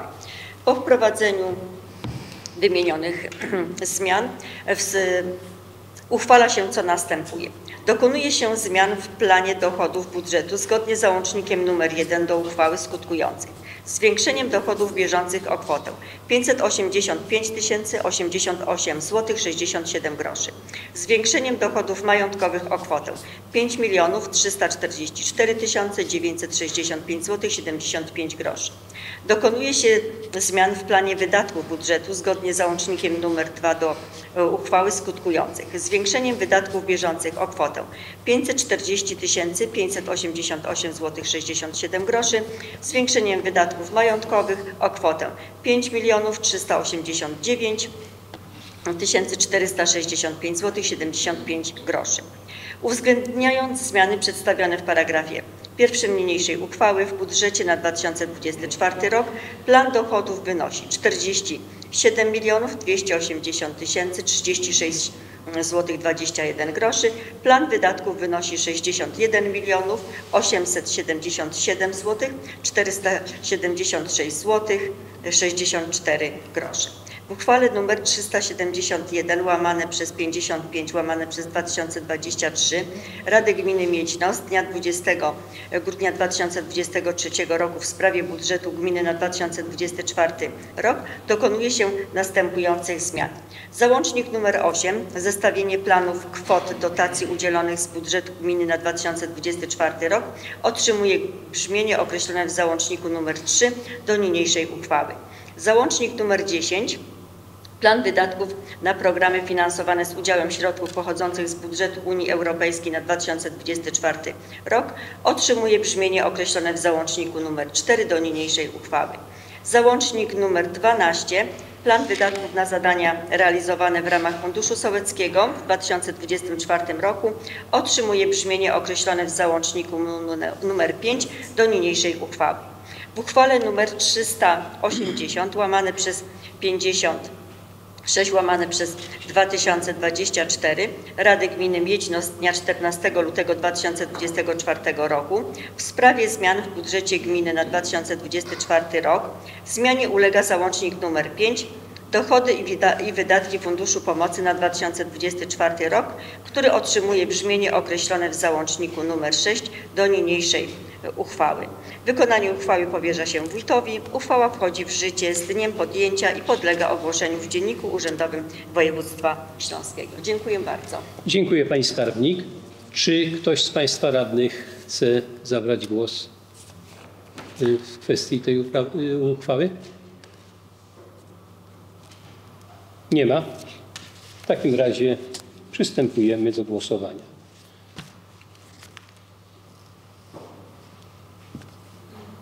Kto z Państwa jest za podjęciem uchwały? Kto jest przeciw? Kto się wstrzymał?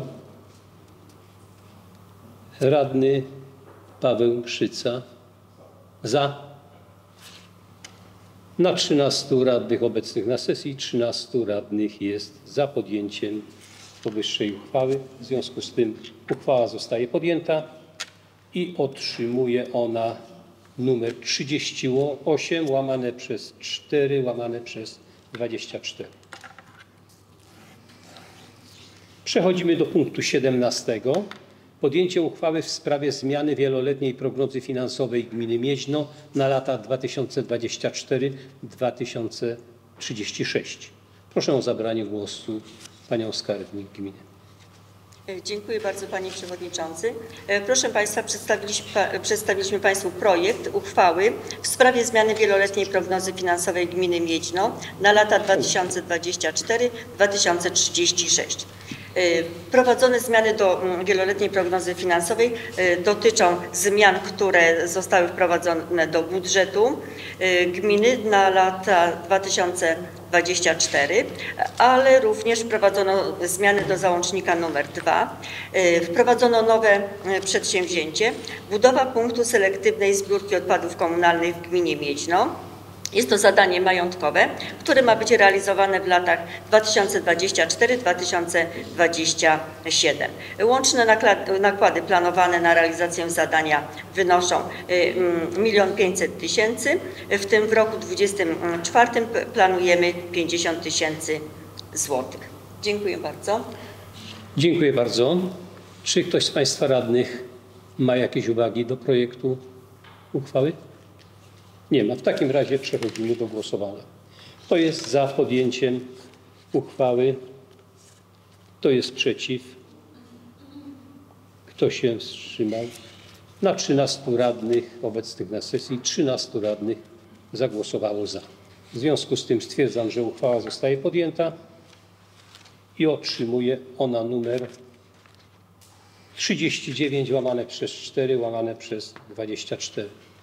Proszę Państwa, jest taka potrzeba, żeby y, w tej chwili zrobić 5 minut przerwy, ale dosłownie tylko 5 minut.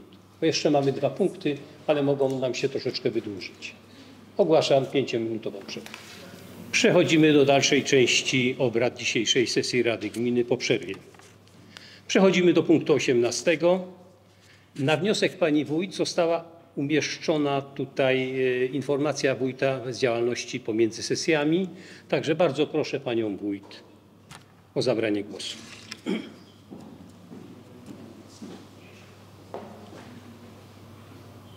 Sprawozdanie numer 2 Wójta Gminy z dnia 28 sierpnia 2024 roku z działalności w okresie między sesjami.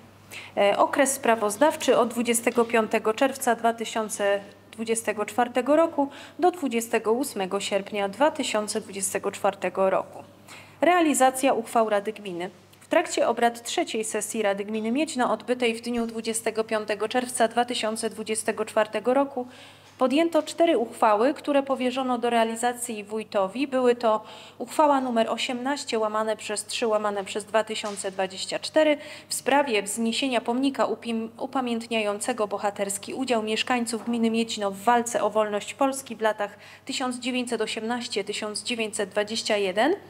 Uchwała nr 19 łamane przez 3 łamane przez 2024 w sprawie nadania nazwy ulicy w miejscowości Miedźno.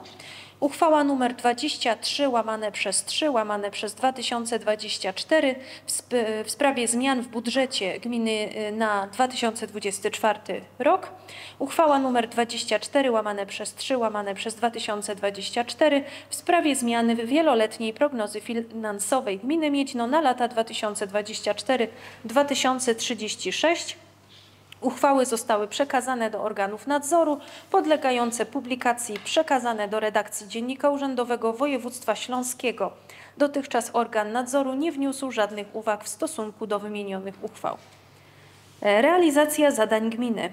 E, 27 czerwca wspólnie z przewodniczącym Rady Gminy Zbigniewem Grajem oraz pracownikami Urzędu Gminy odbyliśmy wizję lokalną na terenie działki 834 zlokalizowanej w Miedźnie przy ulicy Częstochowskiej, którą gmina Miedźno na, niedawno nabyła. Celem oględzin była ocena obecnego stanu działki wraz z zabudowaniami, a w najbliższym czasie podejmiemy kroki w celu jej uporządkowania. Chodzi tutaj o działkę obok kościoła w Miedźnie. E, 27 czerwca również e, wybrano najkorzystniejszą ofertę w zamówieniu pod nazwą Sporządzenie Planu Ogólnego Gminy Miedźno złożoną przez konsorcjum firm. E, Lider konsorcjum MZL Urbanistyka Spółka z ograniczoną odpo- odpowiedzialnością, uczestnik konsorcjum GARD, pracownia urbanistyczno-architektoniczna, magister inżynier architekt Anna Woźnicka. Cena 127 tysięcy złotych. W dniu 3 lipca podpisano przedmiotową umowę. 1 lipca odbyła się wizja lokalna terenu i budynku po byłym posterunku policji e, zlokalizowanym w Miednie przy ulicy Gwiezdnej 1. W spotkaniu uczestniczyli przedstawiciele Starostwa Powiatowego w Kłobucku na czele z panem wicestarostą Karolem Wersem. 2 lipca uczestniczyłam w spotkaniu z przedstawicielem firmy OLS. Dokonano przekazania terenu budowy pod inwestycje drogowe w Kołaczkowicach.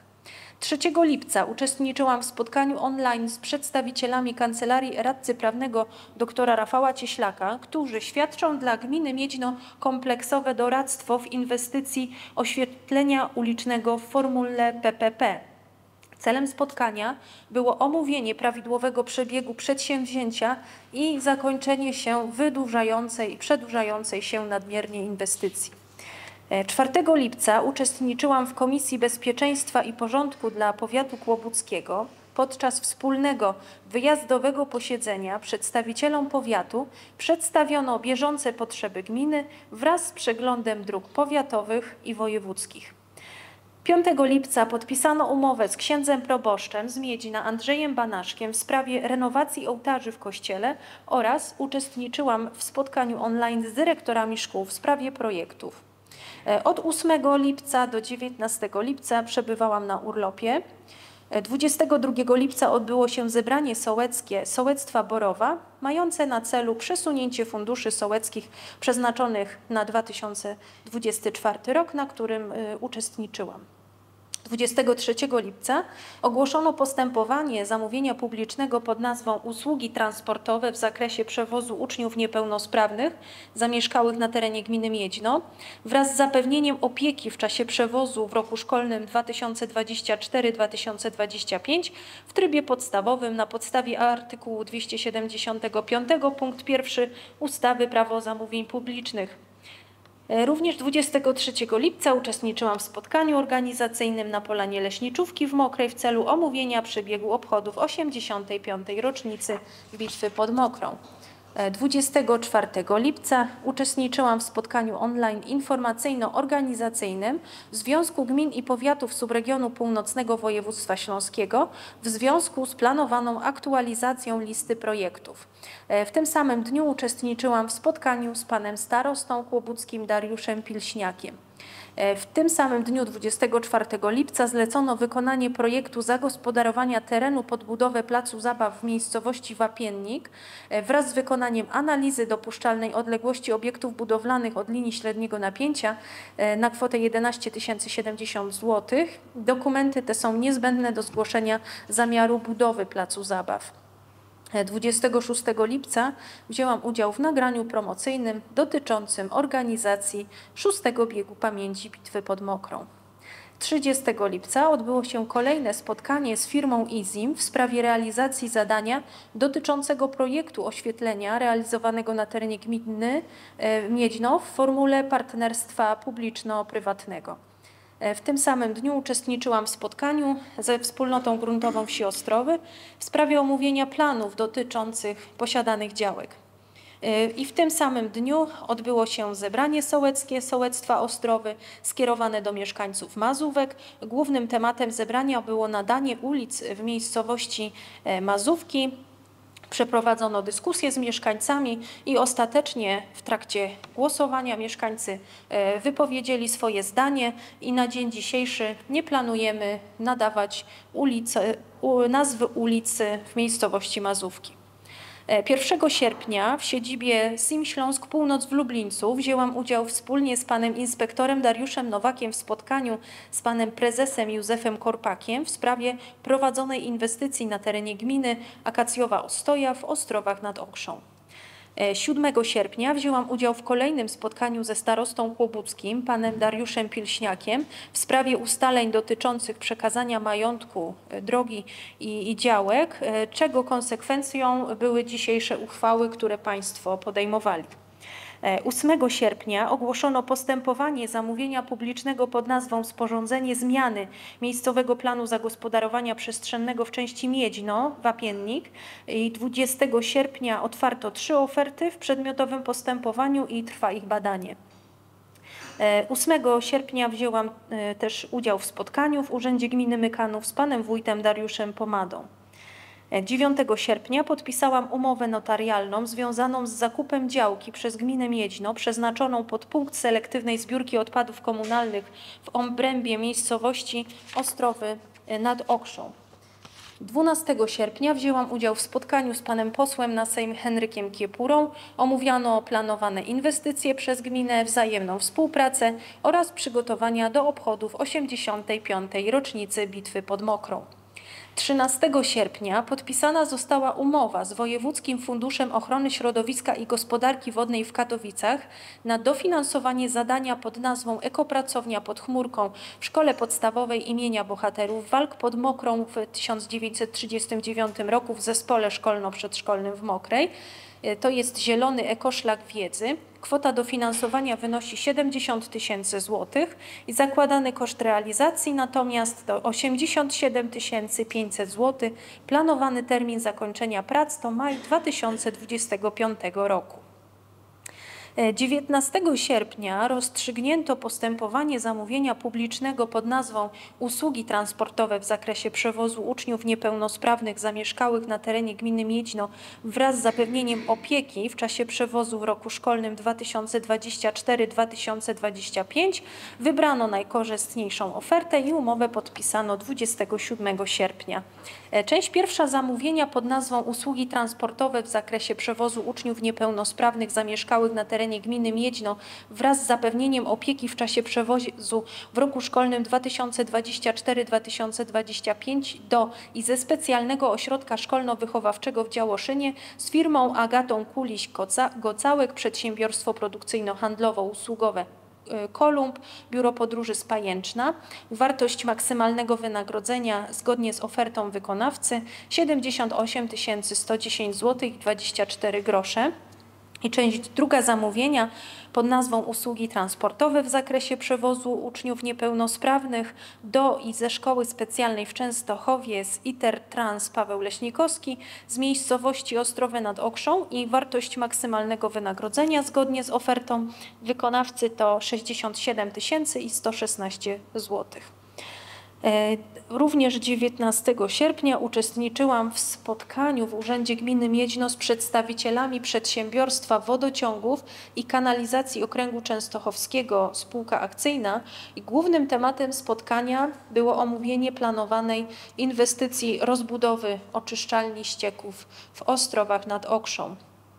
Również w tym samym dniu podpisano umowę na opracowanie programu funkcjonalno-użytkowego dla zadania inwestycyjnego pod nazwą Utworzenie gminnego punktu selektywnej zbiórki odpadów komunalnych w gminie Miedźno z firmą Inżynieria KSK z ograniczoną odpowiedzialnością Strzebini na kwotę 29 520 złotych.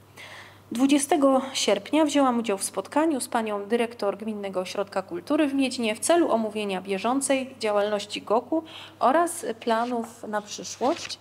E, I w tym samym dniu uczestniczyłam w spotkaniu z prezesami jednostek OSP z naszej gminy e, w celu omówienia działalności i współpracy straży pożarnych z gminą. 22 sierpnia zlecono wykonanie projektu zagospodarowania terenu przy zespole szkolno-przedszkolnym e, w Miedźnie e, i w od, niedalekiej odległości e, boiska Grom Miedźno na kwotę 19 680 zł i przedmiotowe opracowanie niezbędne jest do złożenia wniosku o dofinansowanie w ramach konkursu utworzenie w przestrzeni publicznej terenów zieleni pod nazwą Zielona Przestrzeń ze środków z Wojewódzkiego Funduszu Ochrony Środowiska i Gospodarki Wodnej w Katowicach. Tutaj na celu jest stworzenie terenów i zagospodarowania terenów zielonych no, w Miedźnie przy szkole, żeby troszkę ten teren można było zaadoptować i wreszcie, żeby tutaj coś powstało.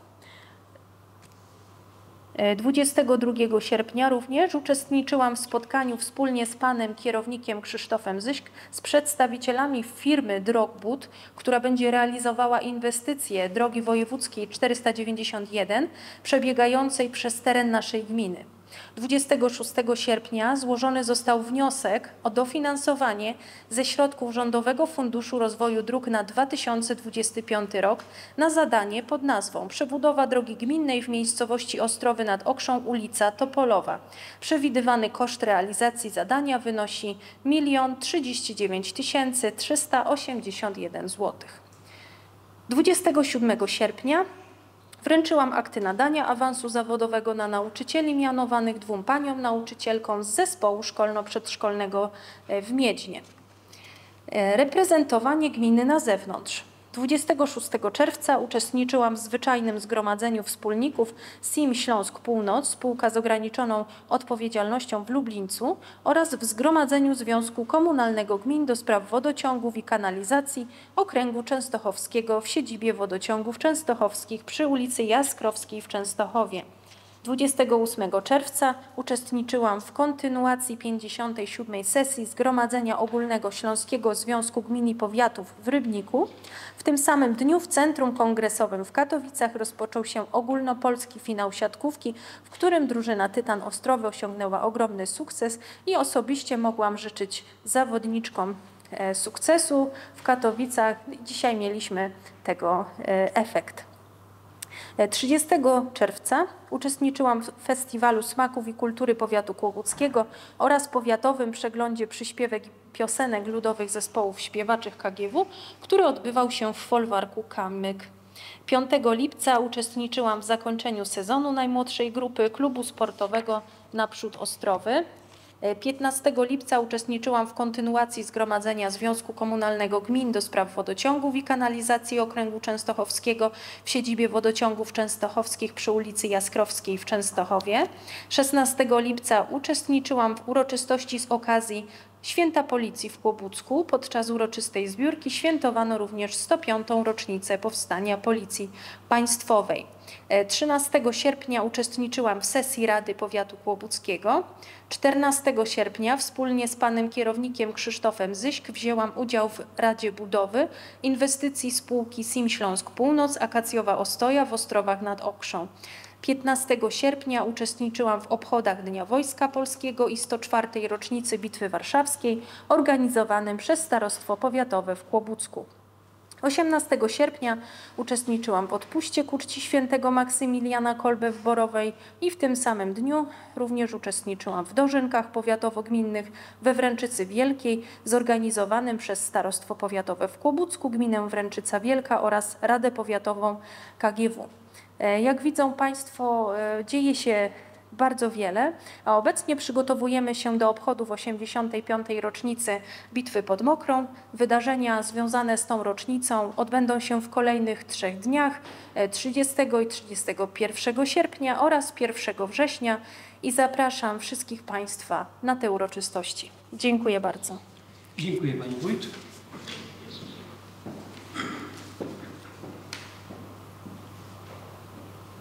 Przechodzimy do punktu 19.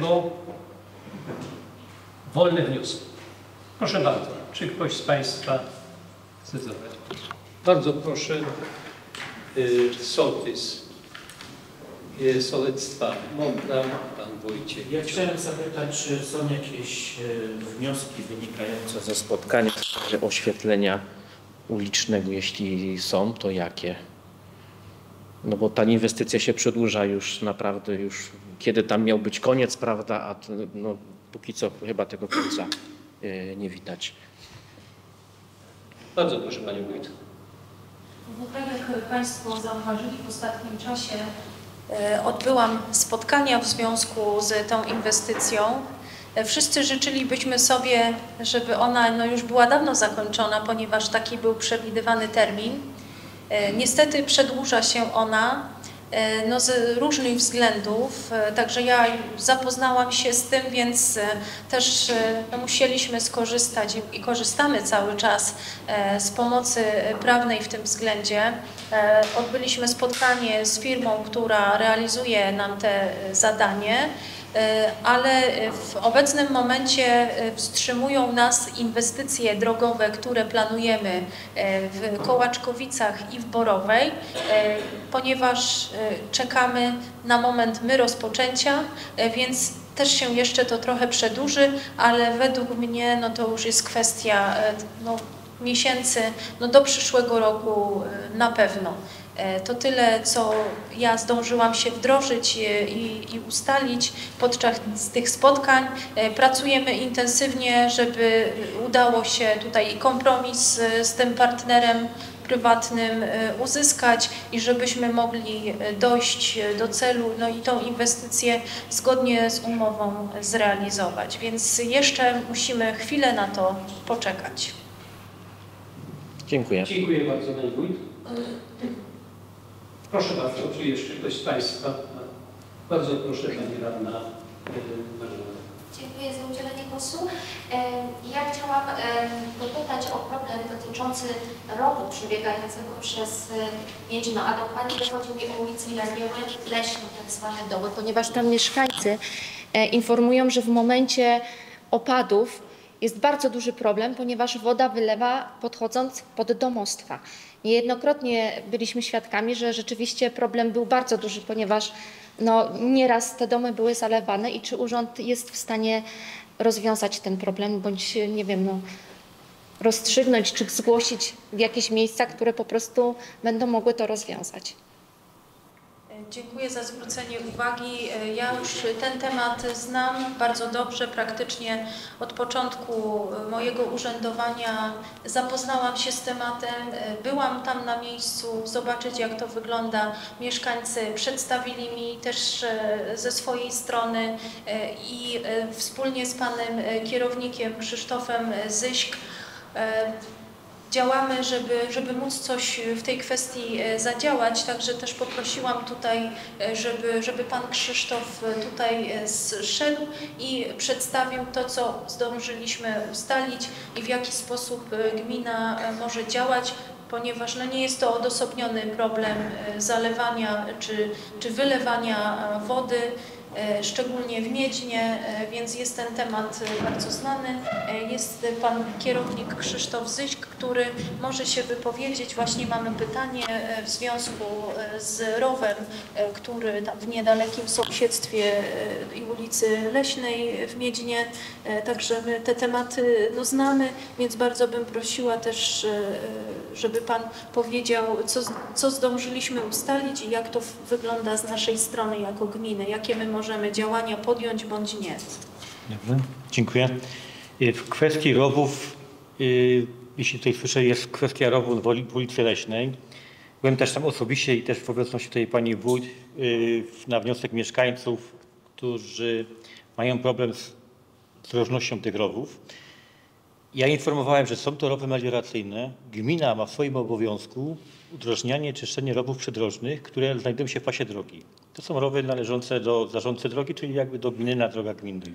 Natomiast rowy melioracyjne, które biegną przez pola, prawo wodne mówi jednoznacznie, że o rowy melioracyjne dbają bezpośredni właściciele gruntów przylegających do rowu, czyli właściciele gruntów, którzy bezpośrednio korzystają z tych rowów. Ja to może przytoczę taki, akurat sobie to przygotowałem, bo to są takie sprawy na bieżąco, które już do nas, y, do Urzędu Gminy wpływały kilkakrotnie takie pytania. Kto utrzymuje urządzenia wodne? Y, I tu jest zgodnie z artykułem 188 Prawo wodne. W kosztach utrzymania innymi rowów melioracyjnych partycypują uczestnicy, którzy odnoszą się do, do użytkowania do użytkowania korzyści. W przypadku w takim przypadku każdy rolnik, do którego pola znajduje się rów melioracyjny, czerpie z korzyści z tego użytkowania. I ja mieszkańcowi ulicy Leśnej, czyli nie będę tutaj wymieniał nazwiska, tłumaczyłem, bo pani powiedziała, że była taka sytuacja, że kiedyś gmina te rowy czyściła. To nie gmina czyściła, tylko gmina, w gminie była zawiązana spółka wodna, która, taka melioracyjna, która y, zbierała, że tak powiem, składki od rolników na terenie całej naszej gminy. Po mm, zebraniu takich funduszy oni przystępowali do, no wynajmowali firmy, które się zajmowały oczyszczaniem takich rowów i na bieżąco ka- każdego roku takie rowy były czyszczone. Te składki były płacone przez ileś lat, następnie no, rolnicy zaprzestawali płacenia.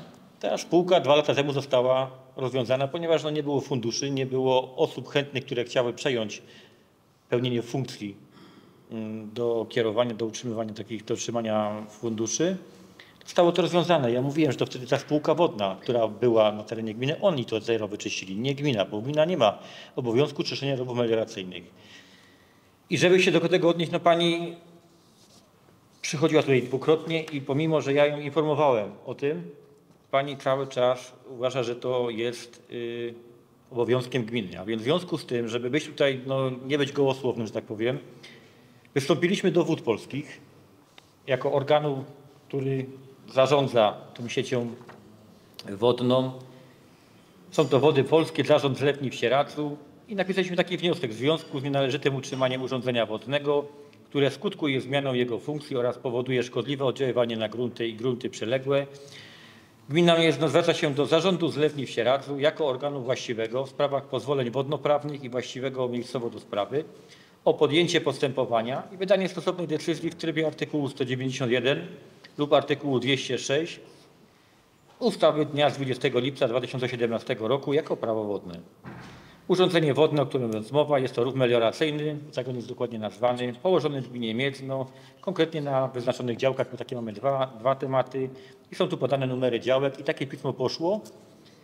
Zostało rozłożone, no nie mam jeszcze do dnia dzisiejszego informacji zwrotnej. Także jeśli taka informacja zwrotna będzie, ja mogę tutaj na pani radnej ręce przekazać lub nawet bezpośrednio do właścicieli, by się do tego odnieśli, no jaka jest opinia, jakie stanowisko powiedzmy tutaj y, wód polskich w stosunku do takich rowów melioracyjnych. No tak to niestety wygląda. Także tu tych rowów mamy, bo miałem tutaj takie zgłoszenia z miejscowości Mokra, nie miejscowości Mokra, z innych tutaj obszarów, o właśnie o wyczyszczenie, ponieważ no, to wszystko zarasta, nie jest to czyszczone. Ja mówiłem właśnie, że to no, prawo wodne mówi o tym, że to jest w obowiązku właścicieli gruntów przylegających do danego rowu.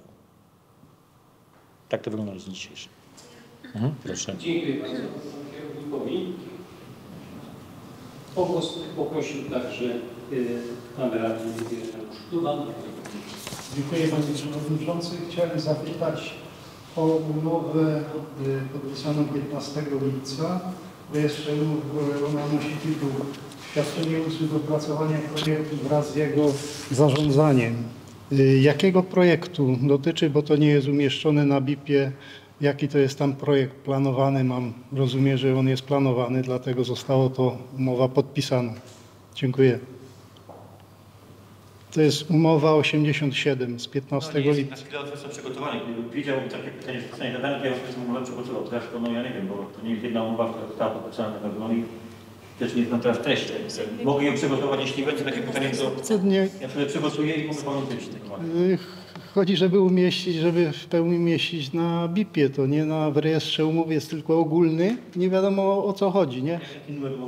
Y, Numer 87 przez 24 z 15 lipca. Tam wystarczy dopisać, jaki to jest projekt, bo tak to nie wiadomo. Jakiś projekt jest, pytają mnie, co to jest, no nie umiem odpowiedzieć.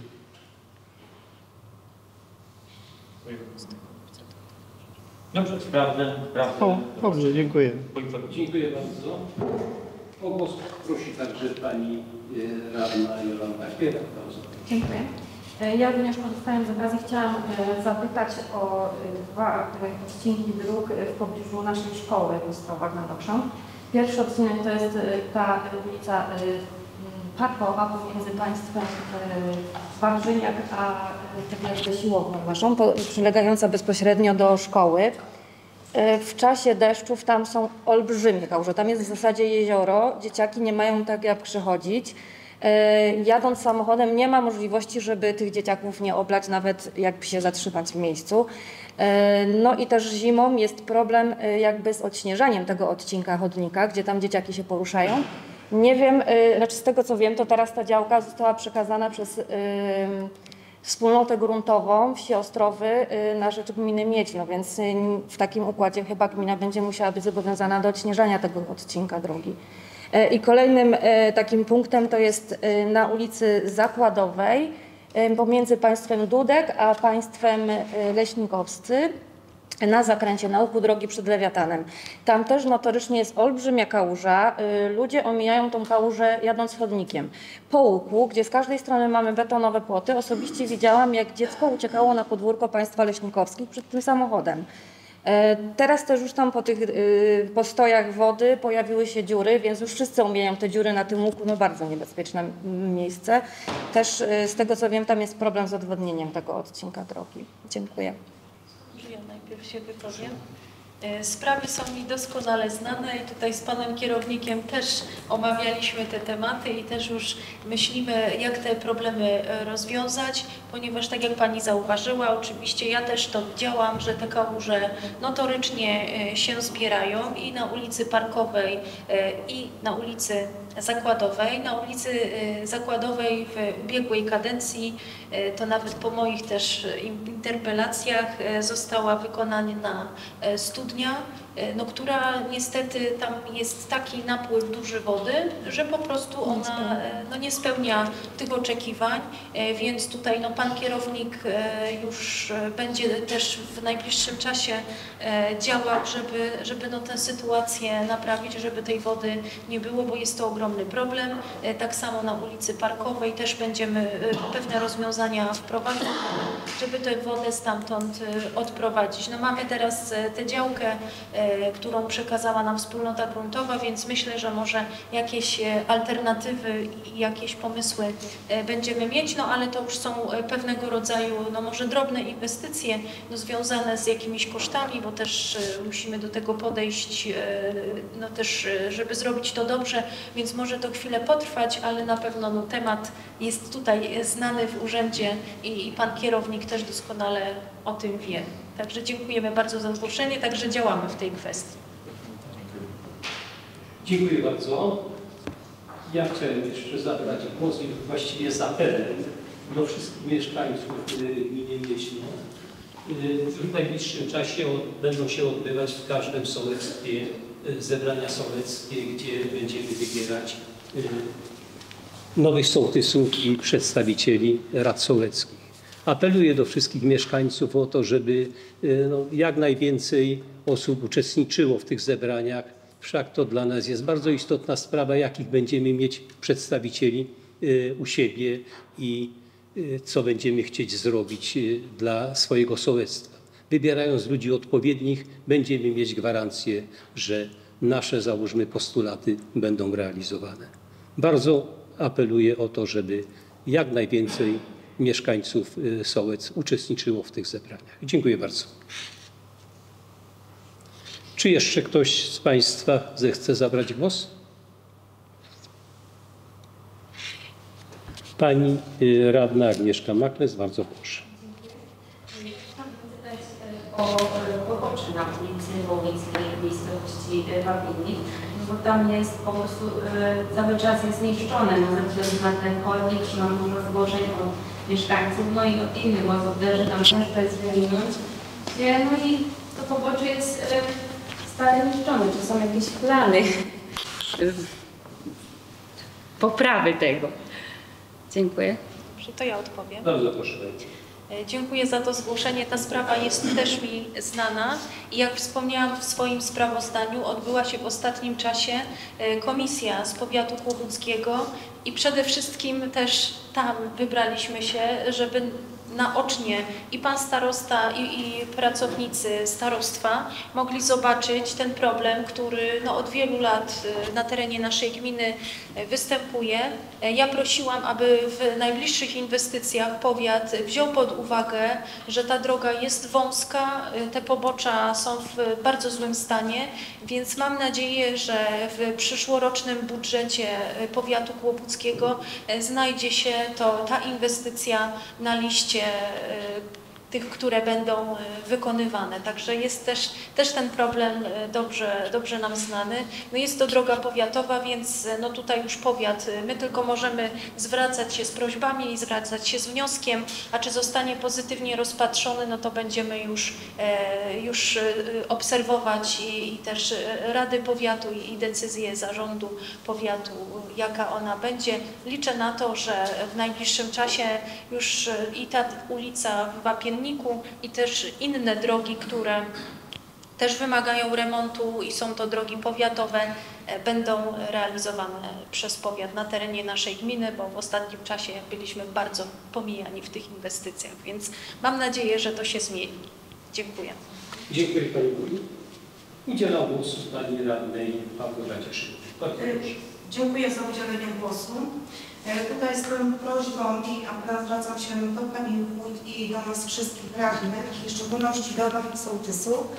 Obserwując teraz poboczne wioski, tak jak Kamyk, Biała, tam w sołectwach są nadal tradycyjne dożynki gminne, które do pewnego czasu w gminie Miedźno były bardzo ładnie, uroczyście obchodzone. Było przedstawienie w różnych miejscowościach, tak jak Bomokra, Borowa, Ostrowy.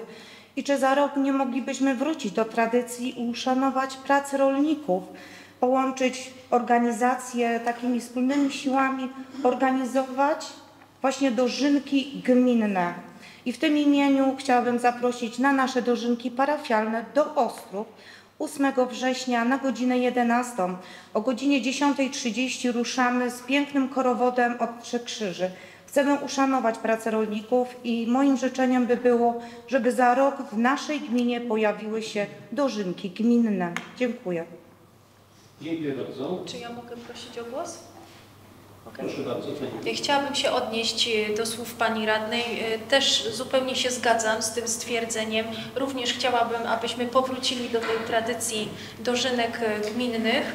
W tym roku niestety ze względu na to, że objęłam urząd w kwietniu, nie wystarczyło czasu, żeby, żeby zorganizować taką uroczystość gminną, ponieważ no, trzeba się do tego przygotować, więc w tym roku koncentrujemy się na dożynkach tylko parafialnych w parafii Ostrowy i wiem, że też w parafii Miedźno są planowane e, dożynki, ale w przyszłym roku ja dołożę wszelkich starań, żeby gminne dożynki były na pewno, a chciałabym i takie moje życzenie, które już e, e, przekazałam do powiatu, chciałabym, żeby można było zorganizować nawet dożynki powiatowo-gminne na naszym terenie, żeby móc się zaprezentować my jako gmina, jako, jako, tam, jako sołectwa poszczególne, e, ponieważ teraz byłam we Wręczycy Wielkiej na, na dożynkach powiatowych.